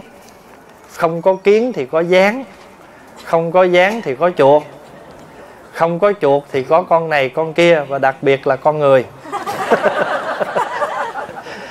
và không có con nào làm khổ mình bằng con người. Vì vậy cho nên á, nếu mình rải lòng thương được với tất cả muôn loài thì tốt. Còn nếu vì bảo vệ môi sinh, thì chúng ta cần phải dùng một chút thuốc gì đó. Ví dụ, thì trước khi làm thì chúng ta nên thông báo. Hay là chúng ta thường ngày rải tâm từ và khuyên họ. Ví dụ, quý vị nói là các ông, các bà bồ tát kiến nhà này không phải là nơi ở của quý vị. Quý vị từ đâu đến thì quý vị hãy nên từ đó mà ra. Tôi không muốn làm hại quý vị. Nếu một ngày nào đó tôi, gia đình tôi chịu không nổi nữa thì đành phải dùng thuốc thì có lỗi với quý vị. Thì thôi xin quý vị hãy rời khỏi chỗ này, vì chỗ này không phải là chỗ của quý vị. Có một phật tử ở cali này gửi cho phó hòa một cái email con thấy thầy hay bị người ta hỏi cái vụ này. Và kinh nghiệm của con, nếu nhà nào có kiến đem cục đường để ngoài sân, kiến nó theo đó mà nó đi. Thì thôi bây giờ trong các thế đánh, ai đánh mình một cái mình đỡ, trong khi đó mình thục. Nghĩa là mình làm cách này không được thì mình làm cách khác. Tận cùng rồi thì chúng ta hãy xài đến cái chiêu cuối cùng phải không? Nhưng mà cũng xin thưa không có con nào làm mình khổ bằng con người. Phải không? Con kỳ nó cắn mình đau chút mà chúng ta thường nói đau như kiến cắn. Phải không? Còn con người mà nói một câu thì mình sao? À, đau cả đời cả kiếp. Dạ.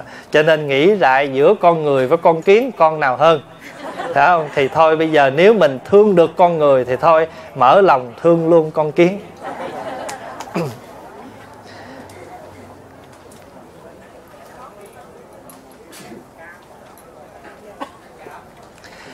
Kính xin thầy cho con được biết, trong những bộ kinh mà Đức Phật đã thuyết như thầy đã nói trong bài thuyền tuệ sang sông, như vậy tất cả những kinh đó, pháp hoa lăng nghiêm vân vân dành cho bên thiền hay tịnh độ. Kính thưa đại chúng, tất cả những bộ kinh không kinh nào dành riêng cho tịnh độ hay là thiền chúng ta nhìn cái bộ kinh đó bằng cái lăng kính nào, thì bộ kinh đó sẽ giúp cho mình trợ duyên cho mình trong cái quá trình tu đó. Pháp hòa ví dụ, chúng ta tu tịnh độ là niệm phật hay là chúng ta tu thiền? Nhưng nếu chúng ta có học kinh lăng nghiêm, thì chúng ta sẽ rõ hơn về cái tâm của mình và đặc biệt là những cái chướng ngại khi nó đến bộ tu tịnh độ không chướng ngại sao? Bộ tu thiền không chướng ngại sao? Thế thì bộ kinh lăng nghiêm là bộ kinh giúp cho mình rõ cái tâm và thẳng thừng biết từng cái tâm hành hiện khởi nó thuộc loại ma gì để chúng ta biết nó mà đừng để nó lôi kéo. Thế thì tu thiền, tu tịnh đều cần hết mấy cái bộ kinh này để giúp trợ duyên cho mình. Bây giờ phóng vào ví dụ. Mình bệnh gì không cần biết. Nhưng mà bệnh nào cũng cái chén cháo hay là ly nước gừng không hề có hại. Thì các cái bộ kinh đó, nó giúp cho mình tăng trưởng được cái pháp tu của mình chứ không có gì hết á. Cái bộ tây du ký một người không hiểu đạo mà chỉ nhìn thuần túy là bộ đó là một bộ phim xuyên tạc đạo phật, thì mình sẽ ghét bộ tây du ký. Nhưng nếu ai có cái lăng kính nhìn tây du ký bằng một cái cuộc sống đời thường, thì bộ tây du ký là một quá trình cho con người của chúng ta tu tập. Nương theo đó mà hiểu mình. Rồi chúng ta tu tập. Tôn ngộ không là sân. Bát giới là tham. Ngộ năng là si tham sân si ba nhân vật đó, nó đều là đệ tử của đường tăng. Đường tăng là mình, ba đứa nó là đệ tử của mình. Mình đi vô chùa mình tu, mình cũng dẫn ba đứa nó đi theo. Bằng chứng thấy cái nào ngon nó hớt trước mà. Lúc đó mình nói, đây, bác giới nó có mặt. Rồi người ta nói mình một câu mình buồn phiền, năm này tháng nọ, vì mình không rõ họ là ai. Tại sao anh đi chùa? Tôi đi chùa tôi tu. Tại sao anh nghĩ đi chùa? Tại cái bà đó làm tôi giận. Đi chùa là vì, không phải vì bà đó, mà bỏ chùa vì bà đó. Vậy thì mình trí hay mình si?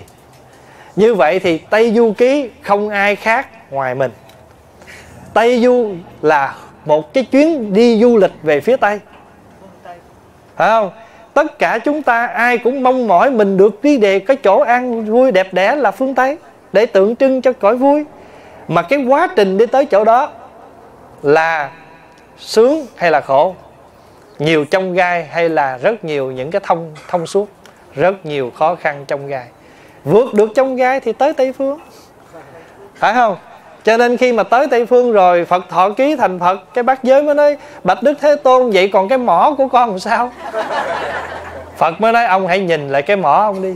Cái vừa nói dứt cái mỏ thụt vô thấy không? Nó biến tướng. Mình tu thì nó chuyển khi mình còn tham thì tướng tham nó còn. Khi mà tham không còn thì tướng tham nó mất. Như vậy thì nếu người nhìn cặp Tây Du Ký bằng cái hình ảnh tu, Tự nhiên Tây Du Ký là một bài để chúng ta học. Quý vị nào muốn biết bộ Tây Du Ký nói cái gì, Quý vị tìm cái bộ băng Pháp Hòa nói. Theo dấu đường tăng. 18 dĩa. Một bộ phim dài 18 tập. Quý vị lái xe từ San Jose lên tới Los Angeles là 8 tiếng, Nghe 8 dĩa. Lái xe trở về nghe 8 dĩa nữa Là một đoạn đường Tây Du Ký, Đi và về.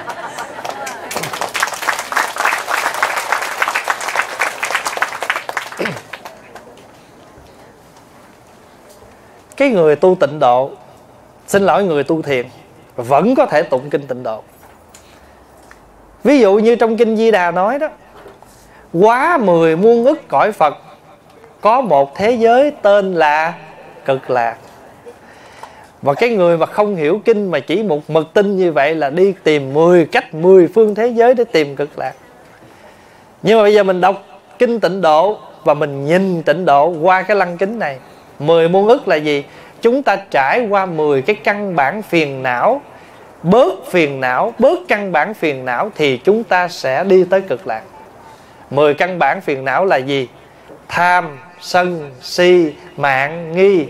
Thân kiến, biên kiến, tà kiến, kiến thủ, giới cấm thủ. Dẹp được 10 cái đó tới cực lạc. Dẹp được năm đi được nửa đường. Dẹp được 6 đi được một phần. Thí dụ vậy.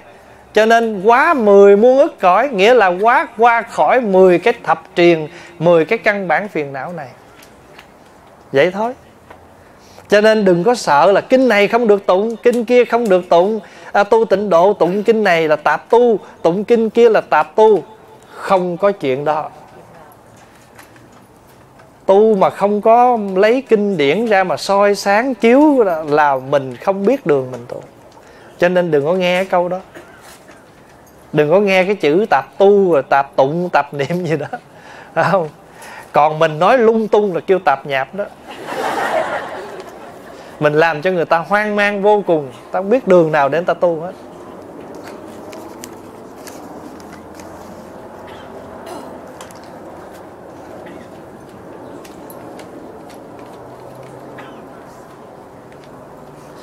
Ngày xưa con có thắc mắc, nếu có vị thánh được mọi người tôn kính, Nếu mọi người chết đi, không ai nhớ biết Vị thánh đó, Vị thánh đó còn tồn tại không thầy?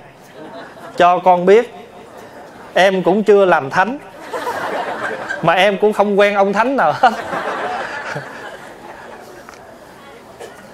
Tại vì mình nghĩ Thí dụ ha, Bây giờ Pháp Hòa ví dụ nè. Mình nghĩ Phật là thánh. Cho tất cả chúng ta là những tín đồ của thánh, cho nên giờ chúng ta thờ thánh này. Lỡ bây giờ trên thế giới này con người chết hết rồi, ông thánh này ông làm gì? Thật sự ra cái tượng này đâu phải là tượng thánh mà tượng này cũng không hề có phật nào ngồi ở trong. Đây là biểu tượng biểu tượng của đức phật để chúng ta có chỗ để chúng ta hướng tâm. Chứ chúng ta phải hiểu rằng không không một vị phật nào ngồi trong cái tượng đó hết. Đừng có nghĩ rằng thờ, lại cái đó là lại một ông phật đang ngồi trong đó. Mà cái tượng đó là biểu tượng để chúng ta trở về với phật trong mình. Nói một cách khác là xã hội này ai làm điều gì tốt chúng ta thường tạc tượng để chúng ta tưởng nhớ. Thí dụ như chúng ta tạc tượng ngài lý thánh tổ à, ngài trần thái tông vân vân để tưởng nhớ các ngài. Thì chúng ta tạc tượng phật để chúng ta nhớ phật những người đã làm tạo cho giúp đỡ chỉ lối cho chúng ta. Cho nên chúng ta thờ phật chỉ là nhớ phật nhớ cái ơn phật học hạnh phật chứ phật không ngồi trong đó. Phật không hề ngồi chờ. Đó trái cây mà ghim tùm lum vô vậy biết phật, biết trái nào phật ăn. Đây là biểu tượng. Tất cả từ bàn thờ của phật giáo là biểu tượng để nhắc mình tu. Trái cây là nhân quả, hoa là vô thường, đèn là trí tuệ, nước là định tĩnh, hương là giới. Như vậy thì giới, định, tuệ, nhân quả nằm hết trên bàn thờ phật giáo. Chứ còn không có cái chuyện gọi là phật ăn gì trên đó hết phật là người ấn độ mà có biết sầu riêng là gì? Mà cứ làm sôi sầu riêng lên cũng biết.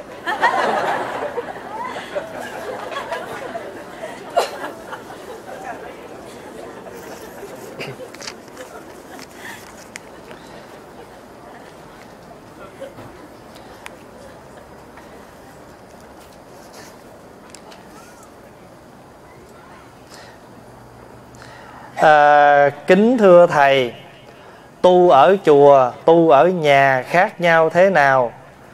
Có người nói, thầy tu ở nhà vì thất bại ở nhà, bèn vô tị nạn, bèn vô chùa tị nạn. Thầy nói, a di đà phật. Nam mô bằng tiếng tây như thế nào? Bữa nay qua tới tây rồi đó.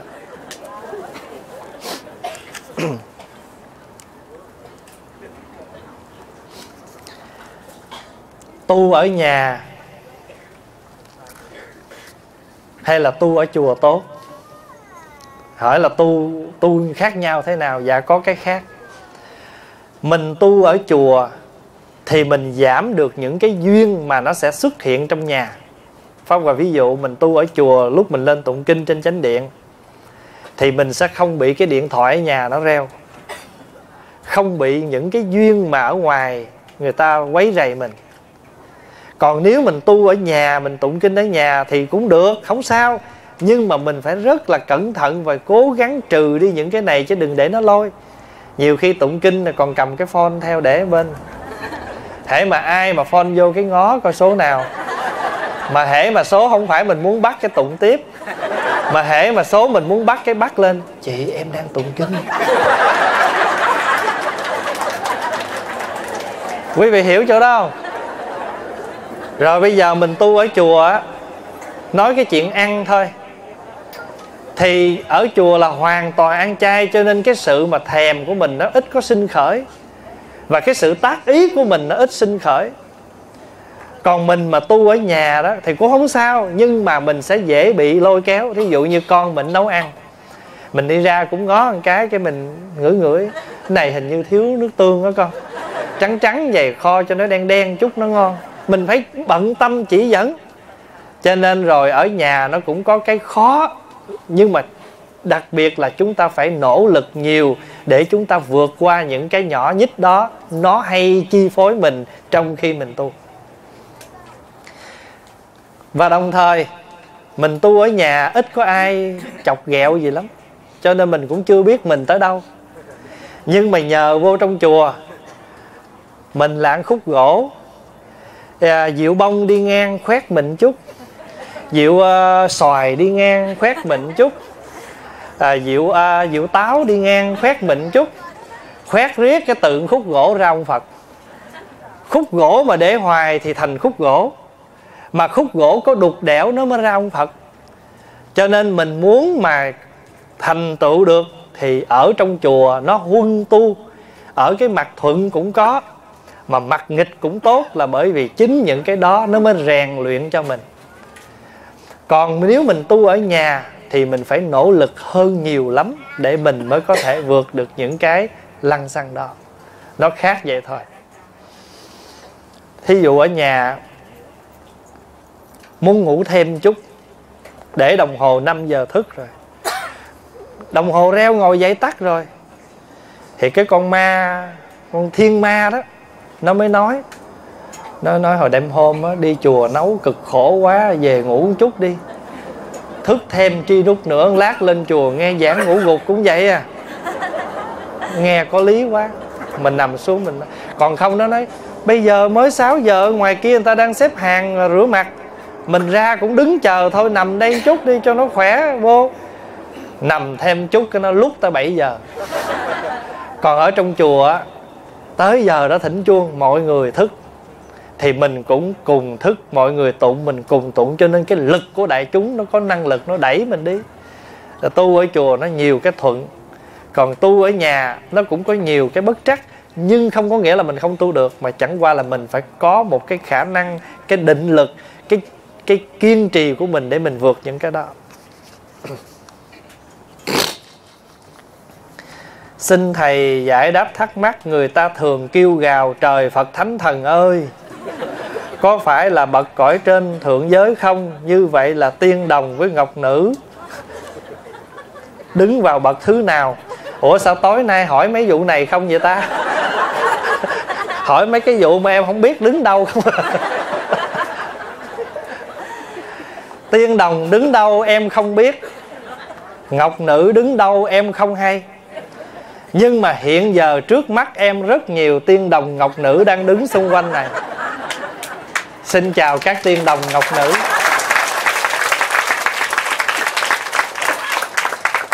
Chữ đồng là gì? Đồng là trẻ. Tiên đồng nghĩa là người tiên còn trẻ. Ngọc nữ là những cô gái đẹp. Như vậy đâu phải cõi trển mới có.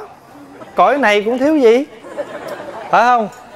Mà tiên đồng ngọc nữ là những người theo hiểu của mình đó, là những người đi theo hầu đi theo lo lắng cho những bậc khác.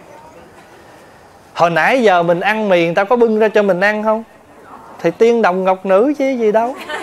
Cho nên tiên đồng ngọc nữ không có thứ bậc mà có tất cả mọi nơi mọi chốn. Người nào tuy già 70 tuổi nhưng tâm hồn vẫn còn trẻ trung thì vẫn là tiên đồng. Cho nên có một cái bác đó sáng ngủ dậy thấy tóc bạc, làm liền bài thơ. Sợi tóc bạc nằm rơi trên gối.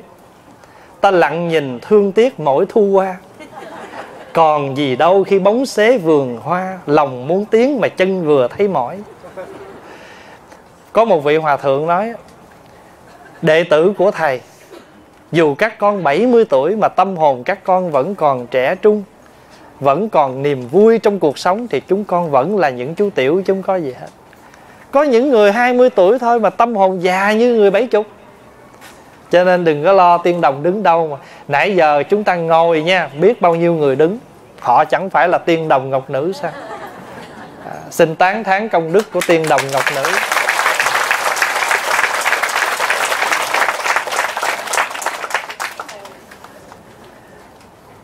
Xin thầy chỉ dẫn cho con một nhà in định đổ thùng rác một số kinh. Con sợ tội, con lãnh đem về. Nhưng khi xem lại là chữ hoa, nên con không ai đọc được. Con không phát được và vẫn giữ gần một năm nay ở nhà. Gần một ngàn quyển sách nhỏ mỏng xin thầy chỉ cho con cách nào giải quyết con có thể đốt từ từ được không, thưa thầy? Thôi khỏi cần đốt từ từ, lái xe 3 tiếng hồ lên cái chỗ đang cháy rừng gửi luôn. Khỏi tội, nói thải tại sao, tự nhiên nó cháy. Quý vị đừng có sợ cái điều đó. Phó Hòa ví dụ, Một cái nhà in kinh, In sách chắc gì trong quá trình hình thành một quyển sách họ không làm sai không? Họ không làm trật không? Thì cái nào sai trật là đành phải bỏ nó ra. Nhưng mà cái chữ bỏ đây không có nghĩa là mình đang tâm kinh sách đang tốt mà mình khinh thường, mình đem dục, mình vứt, mà mình bỏ ra để mình recycle. Băng dĩa hay là kinh sách, nếu nó hư hay là nó không còn dụng được nữa mình không bỏ bằng cái tâm khinh thường, bất kính. Mà bây giờ mình đem đốt thì đốt làm sao cho hết? Mà bây giờ giấy là mục đích để in sách vở. Mình cứ để recycle để tiếp tục làm ra những tờ giấy khác để in kinh sách. Không có gì tội lỗi hết.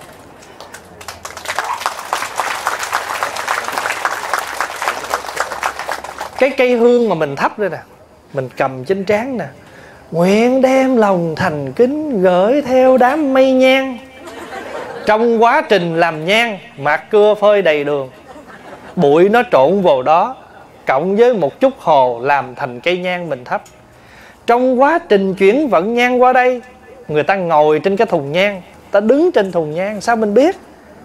Cho nên nếu mà nói là bất kính, là chuyện gì cũng có thể nói là bất kính chỉ trừ trường hợp chúng ta làm bằng tất cả tấm lòng của mình không vì cái tâm bất kính mà ra thôi. Quyển sách đó in trật tùm lum hết. Bây giờ nhà in mình không nhận, ai mà bỏ tiền để in sách, in kinh mà trật tùm lum mà chịu lấy đâu. Rồi cứ cái cớ là kinh sách không được bỏ, không ai làm thế cả. In trật là phải trả lại, lấy quyển cho nó đúng để người ta tụng cho nó trúng. Thì nhà in làm gì đây? Nhà in phải bỏ recycle để tiếp tục làm ra giấy để in nữa. Có tội lỗi gì đâu trước khi nó thành quyển kinh, nó cũng chỉ là giấy thôi mà. Rồi mình recycle lại để mình có được một quyển in tất cả chữ mà mình gọi là kinh lên đó thì mình gọi là quyển kinh. Chứ thật thể nó là một quyển sách. Cho nên đại chúng hãy thoải mái chuyện đó. Mình không làm bất cứ việc gì bằng tâm bất kính. Tâm khinh thường thì không có cái gì lỗi. Nhưng mà mình phải giải quyết một cách sáng suốt để không phí phạm nó. Nó là giấy, nó được recycle thì mình phải recycle để tiếp tục in sách. Thưa đại chúng, thân mình có phải là một thân recycle không? Đấy đấy. Đây là mình, đây là mình xài đây nè. Đây là mượn đồ xài nè. Đây là đồ mượn à. Khát nước, mượn ly nước. Hai tiếng sau trả. Đói bụng, mượn chén cơm. Hai tiếng sau trả. Thở vô, mượn. Thở ra, trả. Mượn, trả. Đời sống con người là một đời sống của vay mượn có gì của mình đâu. Nhưng mà bây giờ là mình đang trả mortgage. Mỗi tháng có chút lời. Đến khi nào pay off, nghĩa là lúc đó tắt thở ngay đơ, everything pay in once. Rồi người ta đem mình ra, người ta recycle trong lửa, recycle trong đất, đều là recycle hết. Chứ có gì cũng phải recycle đâu. Phải không? Thành thử ra đừng có lo tội lỗi gì hết. Mình không làm bằng tâm bất kính thôi. Còn nếu muốn đem qua những chùa người hoa, coi người ta có xài không, mình cúng lại cho chùa hoa. Thưa thầy, mỗi tối con lại phật ở nhà mà không có thắp nhang vì hoàn cảnh không cho phép, như vậy có đúng và có tội không? Thưa, không hề có tội mà phật còn cảm ơn. Thấp quá trời thấp rồi mỗi mạnh ai nấy khấn mà một người một bó nhang. Phật muốn phù hộ mà phật không thấy đường, phật nhăn nhăn, phật nói, đứa nào thấp cho nhiều, phật đâu có thấy mình là ai. Một cây đại diện thôi. Rồi mọi người dưới muốn xin, muốn xỏ gì đó là xin xỏ, phật còn thấy rõ mình là ai. Người nào cũng một nắm khói cây muốn chết. Phật ơi, con nguyễn thị bông nè. Phật nói, nhún nhìn lắm mà không có cái kiến khói quá trừng quá đất, cho nên phật khổ mấy ngày tết lắm. Không cần thắp nhang. Nhang có hai loại, nhang lòng, nhang vật chất. Có một bài kệ nguyện hương như thế này. Thử nhất biện hương bất tùng thiên giáng. Phi thuộc địa sanh, lưỡng nghi vị phán chi tiên, căn nguyên sung tắc, tam giới nhất khí, tài phân chi diệp tức giới, tức định, tức huệ, phi mộc, phi hỏa, phi lai, thâu lai tại nhất vi trần, tán sứ phổ châu xa giới. Bây giờ cái bài đó dài pháp hòa gom mấy nghĩa thôi. Cây hương con đang cầm trên tay đây không phải là từ trên trời xuống, phi thuộc địa xanh bất tùng thiên giáng mà cũng không phải từ đất mọc. Cây hương này là cây hương lòng. Cây hương này không phải bằng khói, bằng vật chất bằng mặt cưa, bằng gỗ trầm gì cả, mà hương này là hương giới, hương định, hương tuệ. Cho nên trong đó mới có câu đó, gọi là phi mộc là không phải gỗ, phi hỏa là không phải lửa, phi yên là không phải khói, phi mộc, phi hỏa, phi yên. Nhưng mà hương này là gì? Tức giới, tức định, tức huệ. Hương này hương giới, hương định, hương tuệ. Hương này mới cúng khắp mười phương còn hương này thắp lên, bất quá chỉ khoảnh chỗ này ngửi thôi. Mà nhiều khi á, đừng có nói mình nha, bữa nào mà ra thử tiệm ấn độ, mua cây nhang ấn độ về thắp rồi sặc muốn chết. Nói trời ơi, hương ấn độ dầu thơm không? Vậy mà thắp phật nguyên bó. Phật cũng ngồi chịu đựng chứ phật nói gì vậy? Phật nói gì đấy phải không? Cho nên đừng có sợ, cứ lễ phật bình thường, ở nhà không hương, không đèn, không nhang gì cũng chẳng sao hết. Cái quan trọng là mình đọc kinh để mình rõ nghĩa lý, để mình ứng dụng trong đời sống. Cho nên thưa đại chúng nha, lễ phật đản, không có cái lễ phẩm nào cao đẹp cho bằng. Chúng ta thanh tịnh, ba nghiệp, thân, khẩu ý, cúng dường cho phật.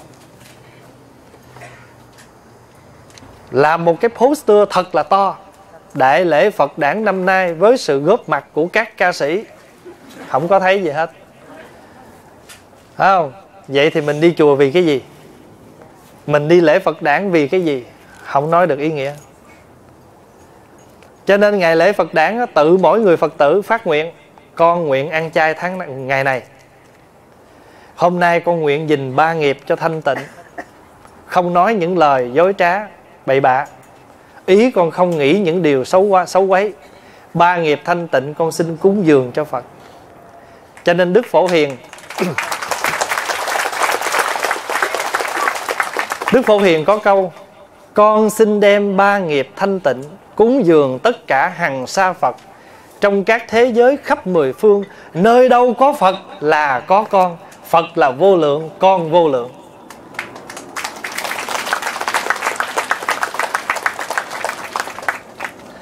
Thưa thầy tuần tới thầy giảng ở texas thành phố nào? Dạ thưa thứ sáu thứ bảy chủ nhật tuần sau pháp hòa nói giảng ở à, roy city thuộc dallas fort worth.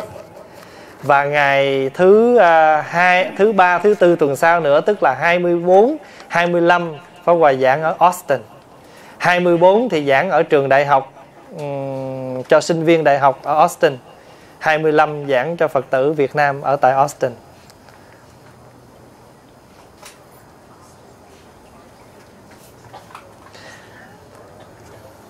Còn giờ không?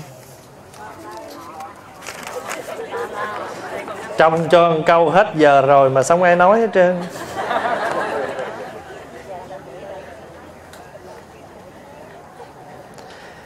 Thưa thầy giải thích đạo phật ăn chay và ăn mặn khác nhau như thế nào? Tại sao? Kính thưa đại chúng, phật giáo có hai tông. Ở trong này cũng hỏi nè, đạo phật nam tông, bắc tông khác nhau thế nào? Thời của phật không hề có chia bất cứ một tông nào. Thời phật không có tông nào hết nha.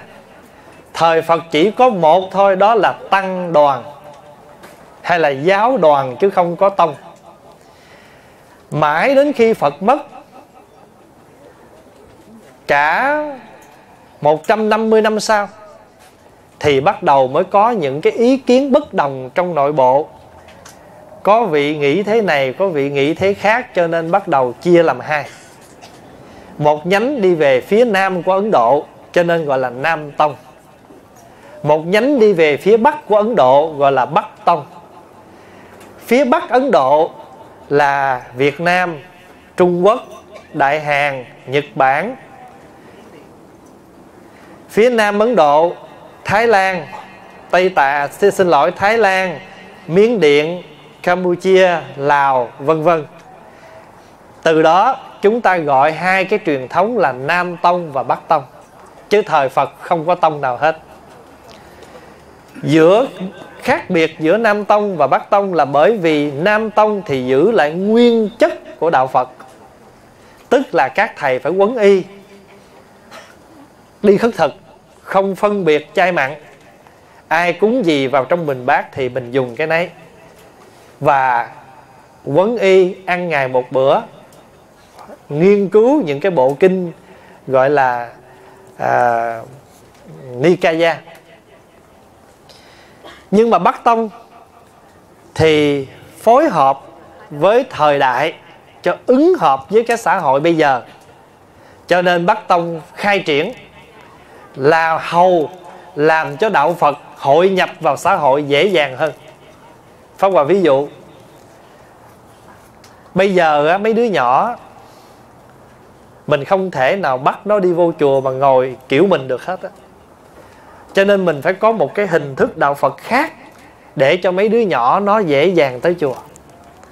Trường hợp đó là đạo Phật phát triển, Đạo Phật hội nhập, Chứ không có gì sai cả. Chẳng qua là một bên muốn giữ nguyên cái bản truyền thủy, nguyên thủy của Phật, Một bên thì muốn phát triển Phật giáo Theo cái hướng xã hội bây giờ Để cho người ta dễ dàng hội nhập. Ví dụ như à, quý vị à, nghe ba giảng hồi buồn quá Ông thầy ông hát cho mình nghe một câu Đỡ buồn ngủ Đỡ mệt. Mình cười vui cái mình tiếp tục mình nói tiếp. Thì cái lời hát đó Câu chuyện vui đó không có gì sai. Mục đích là làm cho mọi người hội nhập với mọi người để mọi người có thể dễ dàng trong cái vấn đề nghe pháp. Ăn chay là cái đề xướng sau này chứ không phải là nguyên thủy của đạo phật. Nguyên thủy đạo phật không có ăn chay mà đức phật ai cho gì là phật dùng đấy nhưng mà các thầy á, mới nghĩ rằng bây giờ á, mình bắt tông là mình không còn đi khất thực nghĩa là mình ở chùa mình tự đi chợ mình ăn. Thì đã là tự đi chợ thì tại sao mình không lựa những món ăn hiền lành như cỏ cây mình ăn? Đâu có cần mình ăn chi thịt cá của con vật. Cho nên đề xướng cho thuyết ăn chay thế thôi. Bây giờ người ăn chay không nên coi người ăn mặn tu thấp. Đạo phật tu hành không căn cứ trên ăn chay ăn mặn, mà tu hành là phải căn cứ trên sự chuyển hóa tham sân si. Mình có thay đổi tham sân si thì mình tu có kết quả tốt. Còn mình không chuyển hóa được tham sân si một phần nào, mặc dù mình ăn chay rất nhiều và mình thọ luôn cả bồ tát giới nhưng mà hàng ngày mình y nguyên y hịch y thinh y chang rất nhiều cái y. À, và thậm chí mình khoác lên người mình một cái y là y nâu. Nhưng mà mình cũng y chang y hịch y thinh y bon y chóc. Một lô y thì cũng không thay đổi gì hết.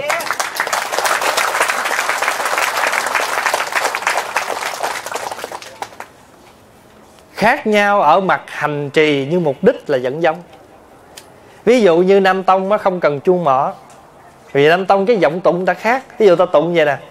Nam mô tassa bhagavato thì cái này không thể thỉnh mỏ rồi. Nhưng mà cái kiểu tụng của mình là khác. À, chí tâm đành lễ. Mà người nào thuộc kinh nam mô tận hư cho nên trên này phải lấy một cái mỏ để thắng mấy trăm cái mỏ ở dưới.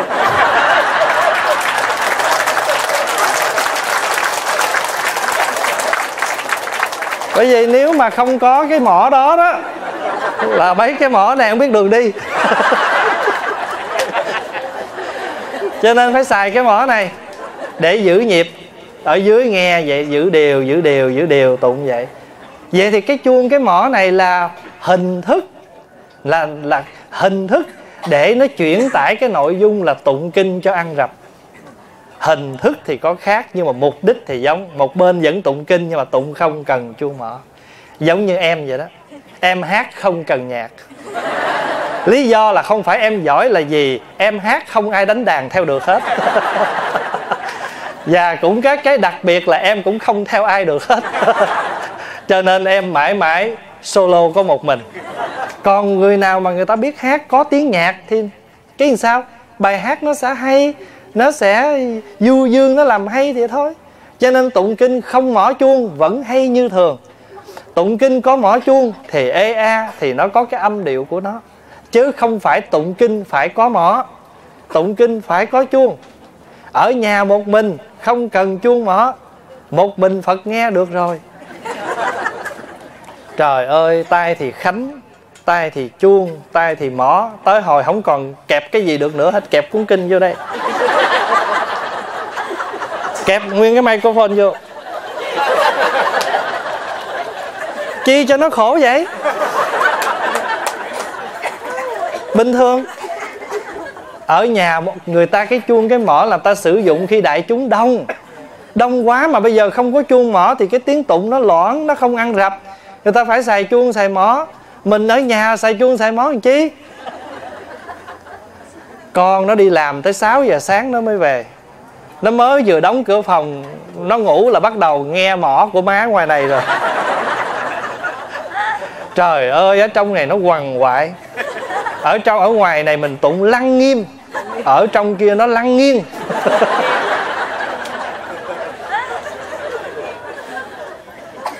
Không cần chuông mỏ là sử dụng khi đông người. Pháp hòa tụng kinh một mình không bao giờ xài chuông mỏ và nếu có là lâu lâu giữ một hai nhịp để cho đại chúng người ta nghe vậy thôi. Chứ không phải là cứ một cái một âm một điệu này mà dên cái này là gõ mỏ đập mỏ chứ không phải thỉnh mỏ còn thỉnh mỏ là ta dùng chỗ này nè. Đều đều đều nhẹ nhẹ, lâu lâu người ta thăng, lâu lâu người ta trầm làm cho cái tiếng mỏ nó thăng trầm, nghe tụng nó thiền vị, nghe cái muốn đi tu luôn. Thỉnh mỏ làm sao mà nghe xong trời, có thuốc nhức đầu không?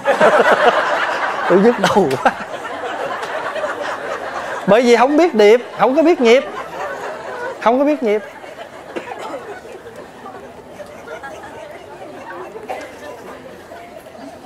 Ở nhà thọ bác quan trai của một mình nè thì cứ cứ tự nhiên chắp tay vậy, còn không bắt ấn cúng dường thanh tịnh để không cần phải có khánh gì bon bon bon bon, ba hồi đầy đủ.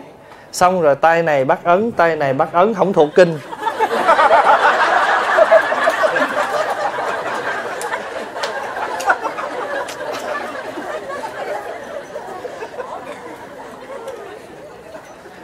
Khi nào mà ăn cơm dĩa, sao bưng?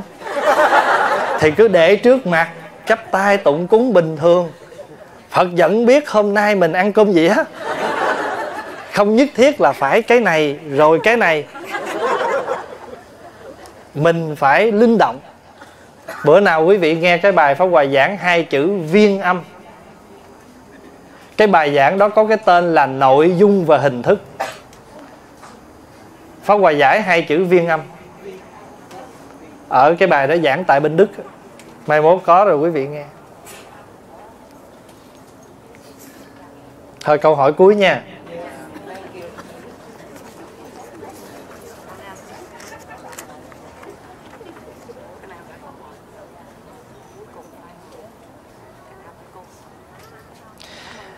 Theo như lời phật dạy, thân xác này là tạm bợ, khi mất rồi cũng bỏ đi con thiết tha mong thầy kêu gọi phật tử phát tâm hiến nội tạng. Trước khi mất để cứu giúp hàng ngàn người đang chờ đợi, đang chờ thay nội tạng. A di đà phật. Đạo hữu có lòng tin tưởng em, thì em cũng cảm ơn. Em nói rỉ rả năm này qua tháng nọ mà chưa chắc người ta nghe bây giờ biểu người ta hiến nội tạng. Người ta sẽ nói rằng, thầy giỏi, thầy hiến trước đi.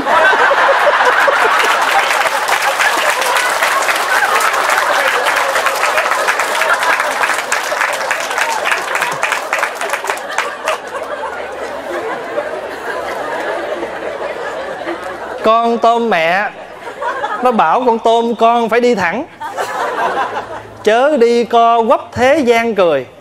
Con tôm mẹ nó bảo con tôm con vậy đó. Tôm mẹ bảo tôm con đi thẳng. Chớ đi co quắp thế gian cười. Con tôm con nó nghe cũng chí lý và đồng thời nó chấp tay lại, nó nói, con rằng lại mẹ, con theo mẹ. Mẹ thử đi đi, thử thử coi.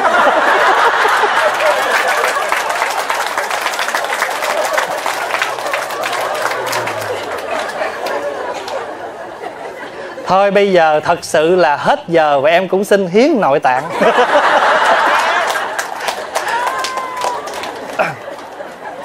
Thưa đại chúng là hiến nội tạng là một cái tâm niệm tốt. Ai có phát tâm được cứ phát tâm. Không nên cản trở. Và cũng đừng sợ hiến nội tạng mà trì trệ việc vãng sanh.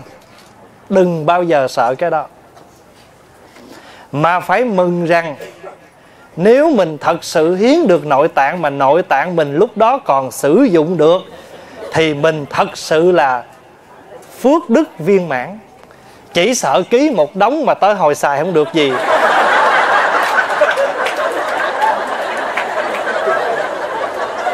Cái đó là, thôi rồi, còn chi đâu em ơi.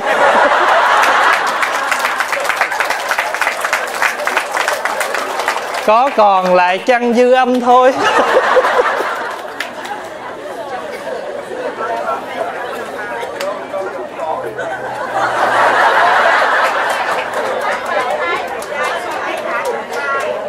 Quý vị có vui không?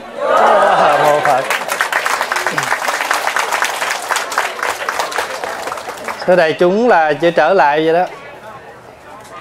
Cái thân này là thân tứ đại giả hợp mình có hiến cho y học, cho người sau đó là một cái phước cuối đời mà chúng ta làm được mà cực kỳ là cần thiết.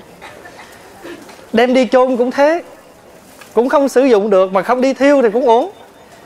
cho được người khác xài, đó là quả thật là bố thí ba la mật. Chết rồi, thay vì dục bỏ rồi, mà chúng ta còn làm được một cái nghĩa cử cao đẹp cuối cùng là dân tặng cho nên quý vị nào phát nguyện vãng sanh cực lạc mà ký giấy ký nội tạng, đừng bao giờ sợ không được vãng sanh. Đừng bao giờ sợ cái đó, tại vì tâm mình đã hướng về cực lạc rồi. Thân xác này chỉ là cát bụi phù hư, để lại cho người sau xài được một chút, đó là phước cuối đời. Chỉ sợ để lại rồi mà người ta nói no thanks. thì lúc đó là chỉ còn lại dư âm thôi. Rồi cuối cùng nghe cây đắng môi. Hôm nay là pháp hòa về thăm đại chúng trong cái dịp này và xin cảm ơn tất cả quý vị rất rất là nhiều đã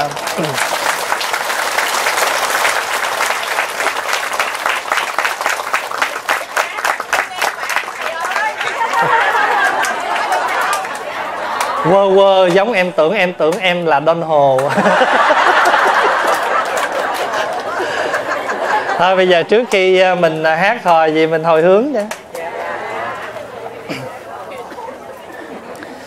À, nam mô bổn sư thích ca mâu ni phật.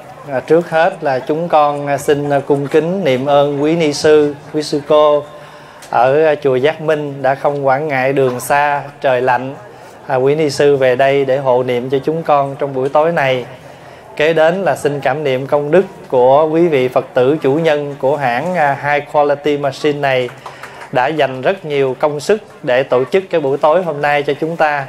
Và cuối cùng là xin cảm niệm công đức quý phật tử ở xa như là nam cali cũng như các tiểu bang đã về đây để đóng góp công sức và tham dự buổi tối hôm nay. Và cuối cùng là tất cả quý phật tử à, thân thương trong à, Bắc Cali cũng như Nam Cali này mà Pháp Hòa đã từng được gặp hay là hôm nay là lần gặp mặt đầu tiên. Xin cảm ơn tất cả quý vị rất nhiều. À, xin chúc tất cả quý vị có nhiều sức khỏe, an vui, bình an trong gia đạo. Nhất là luôn luôn giữ tâm bồ đề của mình cho thật là vững chãi, thật là kiên cố để chúng ta có thể vượt lượt à, lướt được những trong gai trong cuộc sống mà đi đến cái chỗ an vui tự tại của chính mình. Nam mô bổn sư thích ca mâu ni phật. À, bây giờ mình hồi hướng trước nha. Nguyện à, đem à, công à,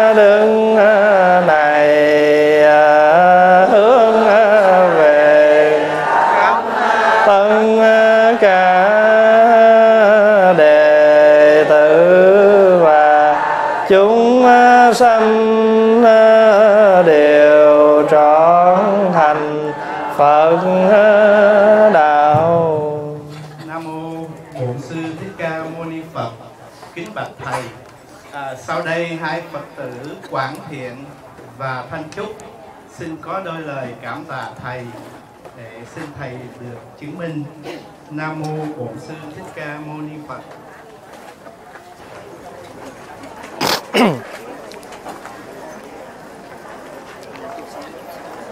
Sau phần phát biểu này, Pháp Hòa sẽ hát cho đại chúng nghe bài trước khi quý vị về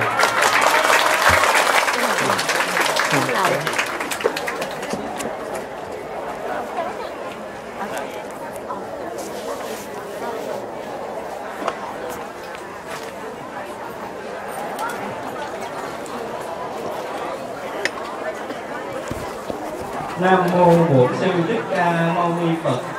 Kính bạch thầy, nhờ đầy đủ phước duyên từ nhiều đời nên toàn thể Phật tử chúng con được có cơ hội tu học và nếm được rất nhiều mùi vị giải thoát từ Phật pháp của Đức Bổn sư truyền lại cho tăng đoàn và quý thầy, quý sư cô trao truyền lại cho hàng Phật tử chúng con.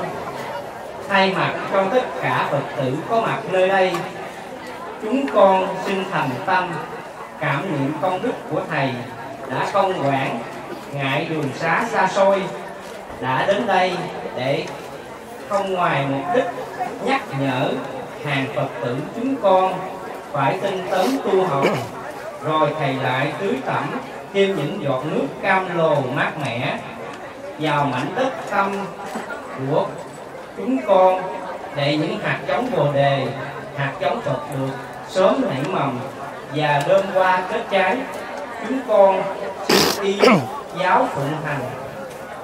Xin nguyện cầu chư Phật chư Bồ Tát, chư Hiền Thánh Tăng, chư Long Thiên Hộ Pháp, gia hộ cho thầy, luôn được an lành để thầy có được nhiều sức khỏe trên con đường quá độ cho chúng sanh. Nam mô bổn sư thích ca mâu ni phật. Chúng con xin thành tâm thảnh lễ thầy tam bái.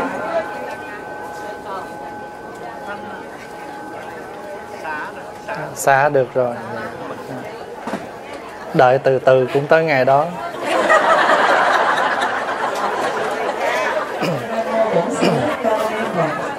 Trong lúc chúng con làm việc cho buổi lễ ngày hôm nay, nếu chúng con có điều chi sơ sót, kính xin thầy và tất cả phật tử có mặt nơi đây, cho chúng con xin thành tâm sám hối và xin hoan hỷ cho chúng con.